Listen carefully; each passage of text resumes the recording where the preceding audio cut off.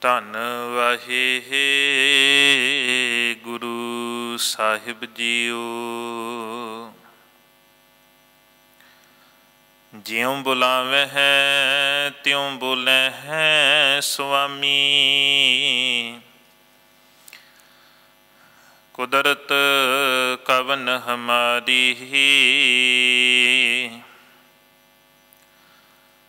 ਸਾਧ ਸੰਗ ਨਾਨਕ ਜਸ ਗਾਇਓ।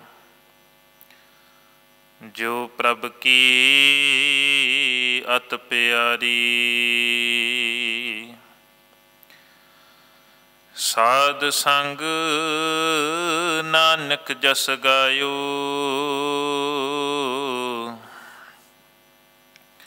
ਜੋ ਪ੍ਰਭ ਕੀ ਅਤ ਪਿਆਰੀ। ਸ਼੍ਰੀ ਨਾਨਕ ਪਦ ਪੰਕਜ ਬੰਦਨ ਪਦ ਪੰਕਜ ਬੰਦਨ ਸਿਮਰੋ ਅੰਗਦ ਦੁਖ ਨਿਕੰਦਨ। ਗੁਰ ਅਮਰਦਾਸ ਹਿਰਦੈ ਨਿਤ ਧਿਆਵੋ ਹਿਰਦੈ ਨਿਤ ਧਿਆਵੋ। ਸ੍ਰੀ ਗੁਰੂ ਰਾਮਦਾਸ ਗੁਣ ਗਾਵੋ। ਗੁਰ ਅਰਜੁਨ ਬਿਗਨਨ ਕੇ ਨਾਸ਼ਕ ਬਿਗਨਨ ਕੇ। ਨਾਸ਼ਕ। ਸ਼੍ਰੀ ਹਰਿ ਗੋਬਿੰਦ ਸ਼ੁਭ ਸੁਮਤ ਪ੍ਰਕਾਸ਼ਕ। ਸ਼੍ਰੀ ਹਰਿ ਰਾਏ ਨਮੋ ਕਰ ਜੋਰੀ ਨਮੋ ਕ੍ਰਿਸ਼ਨ ਮਨਾਉ ਬਹੋਰੀ। ਤੇਗ ਬਹਾਦਰ ਪਰਮ ਕਿਰਪਾਲਾ ਪਰਮ ਕਿਰਪਾਲਾ। ਪਾਲਾ ਸ੍ਰੀ ਗੁਰੂ ਗੋਬਿੰਦ ਸਿੰਘ ਬਿਸਾਲਾ ਤਰੋਂ ਤਰਾ ਤਰ ਪੁਨ ਪੁਨ ਸੀਸਾ ਪੁਨ ਪੁਨ ਸੀਸਾ। ਬੰਦੋਂ ਬਾਰ ਬਾਰ ਜਗਦੀਸ਼ ਜਿਸ ਮੈਂ ਅੰਮ੍ਰਿਤ ਗਿਆਨ ਹੈ ਮਾਨਿਕ ਭਗਤ। ਬੈਰਾਗ। ਸ੍ਰੀ ਗੁਰੂ ਗ੍ਰੰਥ ਸਾਹਿਬ ਉਦਦ ਬੰਦੋਂ ਕਰ। ਅਨੁਰਾਗ। ਏਕ ਓੰਕਾਰ ਸਤਿਗੁਰੂ ਤੇ ਪ੍ਰਸਾਦ ਸਚ ਹੋਏ। ਵਾਹਿਗੁਰੂ ਜੀ ਕੀ ਫਤਿਹ ਹੈ ਵਿਗਨ ਵਿਨਾਸ਼ਨ। ਸੋਏ। ਵਾਹਿਗੁਰੂ ਜੀ ਕੀ ਫਤਿਹ ਹੈ ਵਿਗਨ ਵਿਨਾਸ਼ਨ ਸੋਏ। ਸਤਨਾਮ ਵਾਹਿਗੁਰੂ ਸਾਹਿਬ ਜੀ। ਐਸੋ ਨਾਮ ਵਾਹਿਗੁਰੂ ਜੋਈ, ਸ਼੍ਰੀ ਅੰਗਦ ਬਦ ਧਰ ਕਰ ਸੋਈ। ਪਰਮ ਸਨਮਾਨਯੋਗ ਸਾਹਿਬ ਸਤਿਗੁਰੂ, ਸਹਿਬ ਧੰਨ ਗੁਰੂ ਗ੍ਰੰਥ ਸਾਹਿਬ, ਸੱਚੇ ਪਾਤਸ਼ਾਹ ਜੀ ਦੀ ਪਾਵਨ ਪਵਿੱਤਰ ਹਜ਼ੂਰੀ ਅੰਦਰ ਸੁਭਾਈਮਾਨ ਗੁਰੂ ਰੂਪ, ਗੁਰੂ ਪਿਆਰੀ ਸਾਧ ਸੰਗਤ ਜੀਓ। ਤੰਤਾ ਦੇ ਯੋਗ ਹੋ ਜੋ ਕਿ ਸਤਿਗੁਰਾਂ ਦੀ ਹਜ਼ੂਰੀ ਅੰਦਰ ਬੈਠ ਕਰਕੇ ਜੀਵਨ ਦੇ ਕੁਝ ਕੁ ਸਮੇਂ ਨੂੰ ਜੀਵਨ ਦੀਆਂ ਕੁਝ ਕੁ ਘੜੀਆਂ ਨੂੰ ਸਫਲਾ ਕਰਨ ਦਾ, ਬਣਾਉਣ ਦਾ ਇੱਕ ਯਤਨ ਉਪਰਾਲਾ ਕਰਦੇ ਪਏ ਹੋ। ਆਪ ਜੀ ਨੇ ਬੜੇ ਪਿਆਰ ਦੇ ਨਾਲ, ਅਦਬ ਸਤਕਾਰ ਦੇ ਨਾਲ ਰੱਬੀ ਬਾਣੀ, ਧੁਰਕੀ ਬਾਣੀ ਸੁਧਰ ਬਾਣੀ ਦੇ ਪਾਠ ਸਰਵਨ ਕੀਤੇ ਹਨ। ਸੋ ਆਓ ਜਿੱਥੇ ਆਪ ਜੀ ਨੇ ਰੱਬੀ ਬਾਣੀ ਦੇ ਪਾਠ ਸਰਵਨ ਕੀਤੇ ਸਮਾਂ ਹੋਇਆ ਹੈ ਇਤਿਹਾਸਕ ਵਿਚਾਰਾਂ ਦਾ। ਜਿਤਨਾ ਕੁ ਸਮਾਂ ਮਿਲਿਆ ਹੈ ਇਤਿਹਾਸਕ ਵਿਚਾਰਾਂ ਦੇ ਨਾਲ ਜੁੜਨ ਦਾ ਯਤਨ ਕਰੀਏ ਜੀ। ਵਿਚਾਰਾਂ ਦੀ ਅਰੰਭਤਾ ਤੋਂ ਪਹਿਲਾਂ ਬਖਸ਼ਿਓ ਅਸੀਸ। ਪਾਓ ਗੁਰਫਤਿਹ ਨਾਲ ਸਾਂਝ। ਪਿਆਰ ਦੇ ਨਾਲ ਆਖੋ ਜੀ ਵਾਹਿਗੁਰੂ ਜੀ ਕਾ ਖਾਲਸਾ। ਵਾਹਿਗੁਰੂ ਜੀ ਕੀ ਫਤਿਹ। ਐਸੋ ਨਾਮ ਵਾਹਿਗੁਰੂ ਜੋਈ, ਸ਼੍ਰੀ ਅੰਗਦ ਬਖਤ ਧਾਰ ਕਰ ਸੋਈ। ਆਪ ਜੀ ਨੇ ਪਿਛਲੀਆਂ ਦੀਵਾਨਾਂ ਦੇ ਵਿੱਚ ਸਰਵਨ ਕੀਤਾ ਹੈ ਕਿ ਬਾਬਾ ਅਮਰਦਾਸ ਜੀ ਨੇ ਗੋਇੰਦਵਾਲ ਸਾਹਿਬ ਨਗਰ ਵਸਾਇਆ ਹੈ। ਗੁਰੂ ਅੰਗਦ ਦੇਵ ਸੱਚੇ ਪਾਤਸ਼ਾਹ ਦੇ ਹੁਕਮ ਦੇ ਮੁਤਾਬਕ ਬਾਬਾ ਅਮਰਦਾਸ ਜੀ ਉੱਥੇ ਆਪਣਾ ਪਰਿਵਾਰ ਲੈ ਗਏ, ਭਤੀਜਿਆਂ ਨੂੰ ਲੈ ਗਏ, ਭਰਾਵਾਂ ਨੂੰ ਲੈ ਗਏ ਨੇ। ਨਵਾਂ ਜਿਹੜਾ ਨਗਰ ਆਬਾਦ ਹੋਇਆ ਹੈ, ਉਹਦੇ ਵਿੱਚ ਵਸੋ ਕਰ ਦਿੱਤੀ ਹੈ। ਇਧਰ ਧੰਨ ਗੁਰੂ ਅਮਰਦਾਸ, ਸੱਚੇ ਪਾਤਸ਼ਾਹ ਜੀ ਬਾਬਾ ਅਮਰਦਾਸ ਜੀ ਦਰਸ਼ਨ ਕਰਨ ਵਾਸਤੇ ਆਉਂਦੇ ਨੇ। ਅਜੇ ਤੱਕ ਗੁਰੂ ਅੰਗਦ ਦੇਵ ਸੱਚੇ ਪਾਤਸ਼ਾਹ ਖਡੂਰ ਸਾਹਿਬ ਨਹੀਂ ਆਏ। ਬਾਬਾ ਅਮਰਦਾਸ ਜੀ ਗੋਇੰਦਵਾਲ ਸਾਹਿਬ ਰਹਿੰਦੇ ਨੇ ਤੇ ਗੁਰੂ ਅੰਗਦ ਦੇਵ ਸੱਚੇ ਪਾਤਸ਼ਾਹ ਜੀ ਖਡੂਰ ਸਾਹਿਬ ਰਹਿੰਦੇ ਨੇ, ਜਿਹੜਾ ਡਿਸਟੈਂਸ ਹੈ, ਉਹ ਤਕਰੀਬਨ 8 ਕਿਲੋਮੀਟਰ ਦਾ ਹੈ। ਤੇ ਇੱਕ ਦਿਨ ਅੰਤਰ ਧਿਆਨ ਹੋ ਕਰਕੇ ਬਾਬਾ ਅਮਰਦਾਸ ਜੀ ਨੇ ਯਾਦ ਕੀਤਾ, ਗੁਰੂ ਅੰਗਦ ਸਾਹਿਬ ਨੂੰ ਪਿਆਰ ਦੇ ਵਿੱਚ ਭਿੱਜ ਕੇ ਪੁਕਾਰਿਆ, ਯਾਦ ਕੀਤਾ ਹੈ। ਤੇ ਇਧਰ ਯਾਦ ਕੀਤਾ ਤੇ ਉਧਰ ਅਗਲੇ ਦਿਨ ਹੀ ਸਵੇਰ ਨੂੰ ਧੰਨ ਗੁਰੂ ਅੰਗਦ ਦੇਵ ਸੱਚੇ ਪਾਤਸ਼ਾਹ ਤਿਆਰ ਹੋ ਗਏ। ਸੁਨੇਹਾ ਨਹੀਂ ਭੇਜਿਆ ਕੋਈ। ਕੋਈ ਮੈਸੇਜ ਨਹੀਂ ਭੇਜਿਆ ਵੀ ਮੈਂ ਆ ਰਿਹਾ ਹਾਂ। ਤੇ ਕਿਸੇ ਨੇ ਦੱਸ ਭਾਈ ਬਾਬੇ ਅਮਰਦਾਸ ਨੂੰ ਜਾ ਕੇ, ਬਾਬਾ ਜੀ, ਧੰਨ ਗੁਰੂ ਅੰਗਦ ਦੇਵ ਸੱਚੇ ਪਾਤਸ਼ਾਹ ਆ ਰਹੇ ਨੇ। ਖੁਸ਼ ਹੋ ਗਏ। ਰੋਮ ਰੋਮ ਖਿੜ ਗਿਆ, ਅੱਗੇ ਲੈਣ ਵਾਸਤੇ ਪਹੁੰਚੇ ਨੇ। ਬੜੇ ਅਦਬ ਦੇ ਨਾਲ ਲਿਆ ਹੈ। ਤੇ ਉੱਥੇ ਸਤਿਗੁਰੂ ਜੀ ਫਿਰ ਧੰਨ ਗੁਰੂ ਅੰਗਦ ਦੇਵ ਸੱਚੇ ਪਾਤਸ਼ਾਹ ਪਹਿਲੀ ਵਾਰੀ ਗੋਇੰਦਵਾਲ ਸਾਹਿਬ ਆਏ ਨੇ, ਦਰਸ਼ਨ ਮੇਲੇ ਕੀਤੇ ਨੇ, ਦਰਸ਼ਨ ਕੀਤੇ, ਉਸ ਤੋਂ ਬਾਅਦ ਬਿਆਸਾ ਦਰਿਆ ਦੇ ਕੰਢੇ ਤੇ ਜਾ ਕਰਕੇ ਬੈਠੇ ਨੇ, ਪ੍ਰਸ਼ਾਦਾ ਪਾਣੀ ਛਕਿਆ ਹੈ। ਤੇ ਕਵੀ ਜੀ ਕਹਿੰਦੇ ਨੇ, ਹੁਣ ਗੁਰੂ ਅੰਗਦ ਦੇਵ ਸੱਚੇ ਪਾਤਸ਼ਾਹ ਨੇ ਆਖਿਆ ਸੀ ਪੁਰਖਾ, ਵੀ ਤੂੰ ਗੋਇੰਦਵਾਲ ਸਾਹਿਬ ਦੇ ਵਿੱਚ ਵਸਣਾ ਹੈ, ਜ਼ਿੰਮੇਵਾਰੀ ਹੈ। ਨਗਰ ਵੀ ਵਸਾਇਆ, ਜ਼ਿੰਮੇਵਾਰੀ ਵੀ ਦੇ ਦਿੱਤੀ ਤੇ ਆਉਣ ਵਾਲੇ ਦਿਨਾਂ ਦੇ ਵਿੱਚ ਗੁਰਿਆਈ ਦੀ ਜ਼ਿੰਮੇਵਾਰੀ ਵੀ ਮਿਲ ਜਾਣੀ ਹੈ।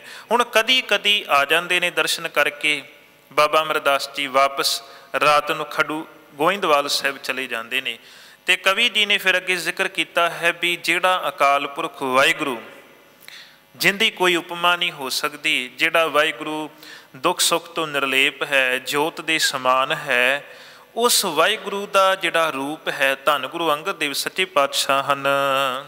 ਜਗਤ ਵਿਖੈ ਬਨ ਭਗਤ ਦਿਖਾਵੈ ਨਹਿ ਸਰੂਪ ਆਪਣੋ ਬਿਦਤਾਵੈ। ਤੇ ਗੁਰੂ ਅੰਗਦ ਦੇਵ ਸੱਚੇ ਪਾਤਸ਼ਾਹ ਜੀ ਨੇ ਭਗਤੀ ਦਾ ਜਿਹੜਾ ਰੂਪ ਹੈ ਦੁਨੀਆ ਦੇ ਵਿੱਚ ਪ੍ਰਗਟ ਕੀਤਾ ਹੈ। ਆਪਣਾ ਜਿਹੜਾ ਰੂਪ ਹੈ ਉਹ ਦੁਨੀਆ ਦੇ ਵਿੱਚ ਨਹੀਂ ਵਿਖਾਰੇ ਆਪਣੇ ਆਪ ਨੂੰ ਸ਼ੋਅ ਨਹੀਂ ਕਰ ਰਹੇ ਹਨ। ਕਰਨੋ ਸਿਮਰਨ ਸ੍ਰੀ ਸਤਨਾਮ ਉਪਦੇਸ਼ਤ ਜਗ ਕੋ ਬਸ ਧਾਮ। ਤੇ ਲੋਕਾਂ ਨੂੰ ਸਤਿਗੁਰੂ ਜੀ ਇਹੀ ਉਪਦੇਸ਼ ਕਰਦੇ ਨੇ ਭਾਈ ਵਾਹਿਗੁਰੂ ਦਾ ਜਿਹੜਾ ਸੱਚਾ ਨਾਮ ਹੈ ਉਹਦਾ ਸਿਮਰਨ ਕਰੋ ਸਿਮਰਨ ਦੇ ਨਾਲ ਹੀ ਸੁਖ ਮਿਲੇਗਾ। ਸਤ ਸੰਗਤ ਸੇਵਨ ਸਿਖਰਾਵੈ ਭਾਉ ਭਗਤ ਕੀ ਰੀਤ ਚਲਾਵੈ। ਜਿਹੜੀ ਸੰਗਤ ਆਂਦੀ ਹੈ ਉਹਨਾਂ ਨੂੰ ਸੇਵਾ ਕਰਨੀ ਸਿਖਾਉਂਦੇ ਨੇ ਪਿਆਰ ਦੇ ਨਾਲ ਰਹਿਣਾ ਸਿਖਾਉਂਦੇ ਨੇ ਭਾਉ ਭਗਤ ਦੀ ਜਿਹੜੀ ਰੀਤ ਹੈ ਉਹ ਗੁਰੂ ਅੰਗਦ ਦੇਵ ਸੱਚੇ ਪਾਤਸ਼ਾਹ ਜੀ ਖਡੂਰ ਸਾਹਿਬ ਚਲਾ ਰਹੇ ਹਨ। ਸ੍ਰੀ ਪਰਮੇਸ਼ਰ ਕੇ ਹਮਦਾਸ ਨਿਰ ਅਹੰਕਾਰ ਅਲੋਭ ਨਿਰਾਸ। ਤੇ ਸਾਹਿਬ ਜੀ ਕਹਿੰਦੇ ਨੇ ਸਿੱਖਾਂ ਨੂੰ, ਸੰਗਤਾਂ ਨੂੰ, ਭਾਈ, ਵੀ ਅਸੀਂ ਰੱਬ ਦੇ ਦਾਸ ਹਾਂ। ਸਾਡੇ ਅੰਦਰ ਕੋਈ ਹੰਕਾਰ ਨਹੀਂ ਹੈਗਾ, ਕੋਈ ਲੋਭ ਨਹੀਂ ਹੈਗਾ। ਅਸੀਂ ਦੁਨਿਆਵੀ ਪਦਾਰਥਾਂ ਤੋਂ ਨਿਰਾਸ਼ ਹਾਂ, ਭਾਵ ਉਪਰਾਮ ਹਾਂ। ਪਰਮੇਸ਼ਰ ਭਾਣਾ ਸ਼ੁਭ ਭਾਵਨ ਕਾਇਆ ਤੇ ਹੰਤਾ ਸੋ ਉਠਾਵਨ। ਤੇ ਸਾਹਿਬ ਜੀ ਲੋਕਾਂ ਨੂੰ ਕਹਿੰਦੇ ਨੇ ਰੱਬ ਦੇ ਭਾਣੇ ਦੇ ਵਿੱਚ ਰੋ ਜਿਹੜਾ ਸਰੀਰ ਹੈ ਇਹਨੂੰ ਹੰਤਾ ਤੂੰ ਹੋਮੇ ਤੂੰ ਈਗੋ ਤੂੰ ਉੱਪਰ ਉਠਾਓ ਈਗੋ ਦੇ ਵਿੱਚ ਨਾ ਫਸੋ। ਨਿਤ ਸੰਤਨ ਕੀ ਸੇਵਾ ਕਰਨੀ ਸਤ ਸੰਗਤ ਮਹਿ ਚਿੱਤ ਬ੍ਰਿਤ ਧਰਨੀ। ਸਾਹਿਬ ਕਹਿੰਦੇ ਸੰਗਤ ਵਿੱਚ ਆਪਣੀ ਬਿਰਤੀ ਰੱਖੋ ਤੇ ਰੋਜ਼ ਗੁਰਮੁਖਾਂ ਦੀ ਰੱਬੀ ਪਿਆਰੀਆਂ ਦੀ ਸੰਗਤ ਦੀ ਸੇਵਾ ਕਰੋ। ਆਪਾ ਨਹੀਂ ਜਨਾਵਨ ਕਰਨੋ ਦਾਸਨ ਦਾਸ ਦਾਸ ਨਿਜ ਬਰਨੋ। ਗੁਰੂ ਅੰਗਦ ਦੇਵ ਸੱਚੇ ਪਾਤਸ਼ਾਹ ਜੀ ਆਪਣੇ ਆਪ ਨੂੰ ਐਕਸਪ੍ਰੈਸ ਨਹੀਂ ਕਰਦੇ ਵੀ ਮੈਂ ਗੁਰੂ ਹਾਂ ਮੈਨੂੰ ਮੱਥੇ ਟੇਕੋ ਮੇਰੇ ਅੱਗੇ ਪਿਟਾਵਾਂ ਰੱਖੋ। ਸਾਹਿਬ ਜੀ ਆਪਣੇ ਆਪ ਨੂੰ ਛੁਪਾ ਕੇ ਰੱਖਦੇ ਨੇ ਆਪਣੇ ਆਪ ਨੂੰ ਦਾਸਾਂ ਦੇ ਦਾਸਾਂ ਦਾ ਦਾਸ ਗਿਣਦੇ ਹਨ। ਪਰਮ ਪਰਮੇਸ਼ਰ ਪ੍ਰੇਮ ਪਰਮੇਸ਼ਰ ਮਾਹੀ ਬਿਨਤੀ ਕਰਨ ਸੋ ਮੈਂ ਕਛ ਨਾਹੀ। ਵਾਹਿਗੁਰੂ ਦੇ ਪ੍ਰੇਮ ਦੇ ਵਿੱਚ ਭਿੱਜੇ ਰਹਿੰਦੇ ਨੇ ਬੇਨਤੀ ਕਰਦੇ ਨੇ ਆਪਣੇ ਆਪ ਨੂੰ ਕੁਝ ਵੀ ਨਹੀਂ ਗਿਣਦੇ ਹਨ। ਕਰਨ ਕਰਾਵਨ ਕੋ ਇਕ ਦਾਤਾ ਪੂਰਨ ਸਰਬ ਠੋਰ ਕੋ ਜਾਤਾ। ਤੇ ਸਾਹਿਬ ਜੀ ਸਿੱਖਾਂ ਨੂੰ ਕਹਿੰਦੇ ਨੇ ਭਾਈ ਵੀ ਰੱਬ ਇੱਕ ਦਾਤਾ ਹੈ ਸਭ ਤੋਂ ਵੱਡਾ ਦਾਤਾ ਹੈ ਜਿਹੜਾ ਦਾਤਾ ਪੂਰੀ ਦੁਨੀਆ ਦੇ ਵਿੱਚ ਸੁਭਾਈਮਾਨ ਹੈ। ਸ਼ਬਦ ਗੁਰੂ ਕੇ ਗਾਵਨ ਕਰਨੇ ਕਿਦੋਂ ਸ਼ਬਦ ਧੁਨ ਸ਼ਰੋਨਨ ਧਰਨੇ। ਤੇ ਸਾਹਿਬ ਕਹਿੰਦੇ ਨੇ ਗੁਰੂ ਦੇ ਸ਼ਬਦਾਂ ਨੂੰ ਗਾਓ ਗੁਰੂ ਦੇ ਸ਼ਬਦਾਂ ਨੂੰ ਪੜੋ ਗੁਰੂ ਦੇ ਸ਼ਬਦਾਂ ਨੂੰ ਗਾ ਕੇ ਹਿਰਦੇ ਵਿੱਚ ਵਸਾਓ ਭਲਾ ਹੋਵੇਗਾ।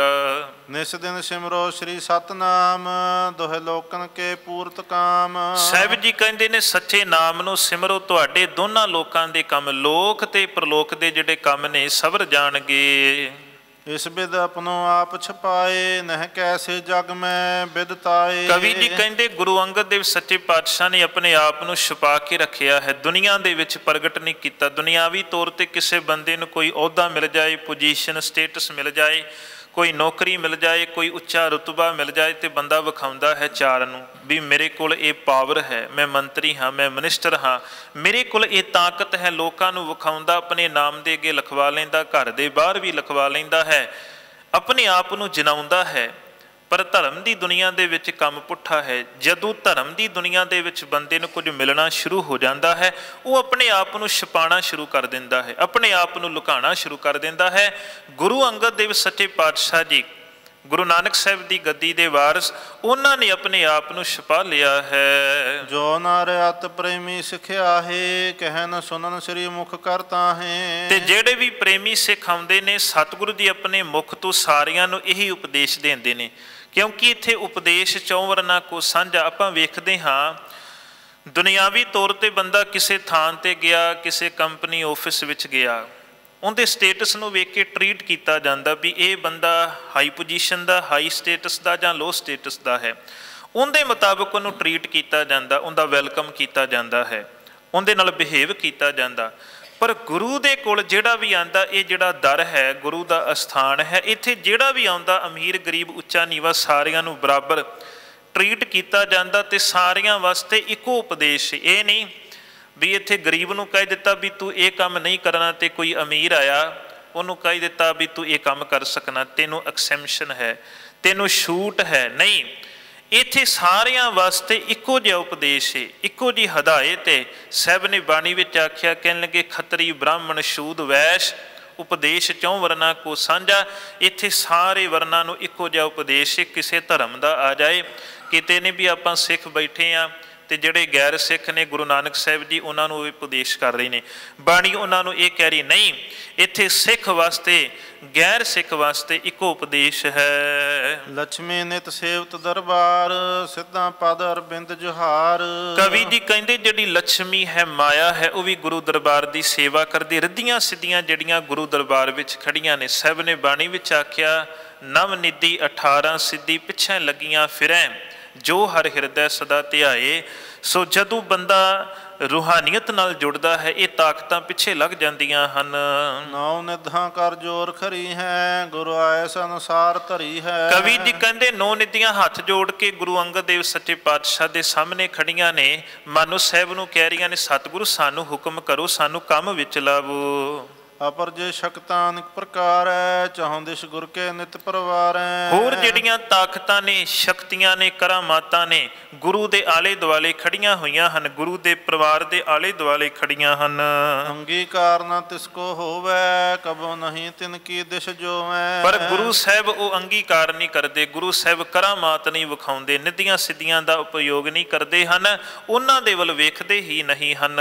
ਆਪਨੋ ਨੇ ਪ੍ਰਤਾਪ ਕਰ ਸਕ ਹੈ ਤੂਸ਼ਣ ਭਈ ਗੁਰੂ ਮੁਖ ਤੱਕ ਹੈ। ਹੁਣ ਆਪਣਾ ਜ਼ੋਰ ਗੁਰੂ ਨੂੰ ਵਿਖਾ ਨਹੀਂ ਸਕਦੀਆਂ ਰਿੱਧੀਆਂ ਸਿੱਧੀਆਂ ਹੱਥ ਜੋੜ ਕੇ ਖੜੀਆਂ ਨੇ। ਗੁਰੂ ਦੇ ਸਨਮੁਖ ਕਿਉਂਕਿ ਗੁਰੂ ਉਹਨਾਂ ਵੱਲ ਤੱਕਦਾ ਹੀ ਨਹੀਂ ਹੈਗਾ।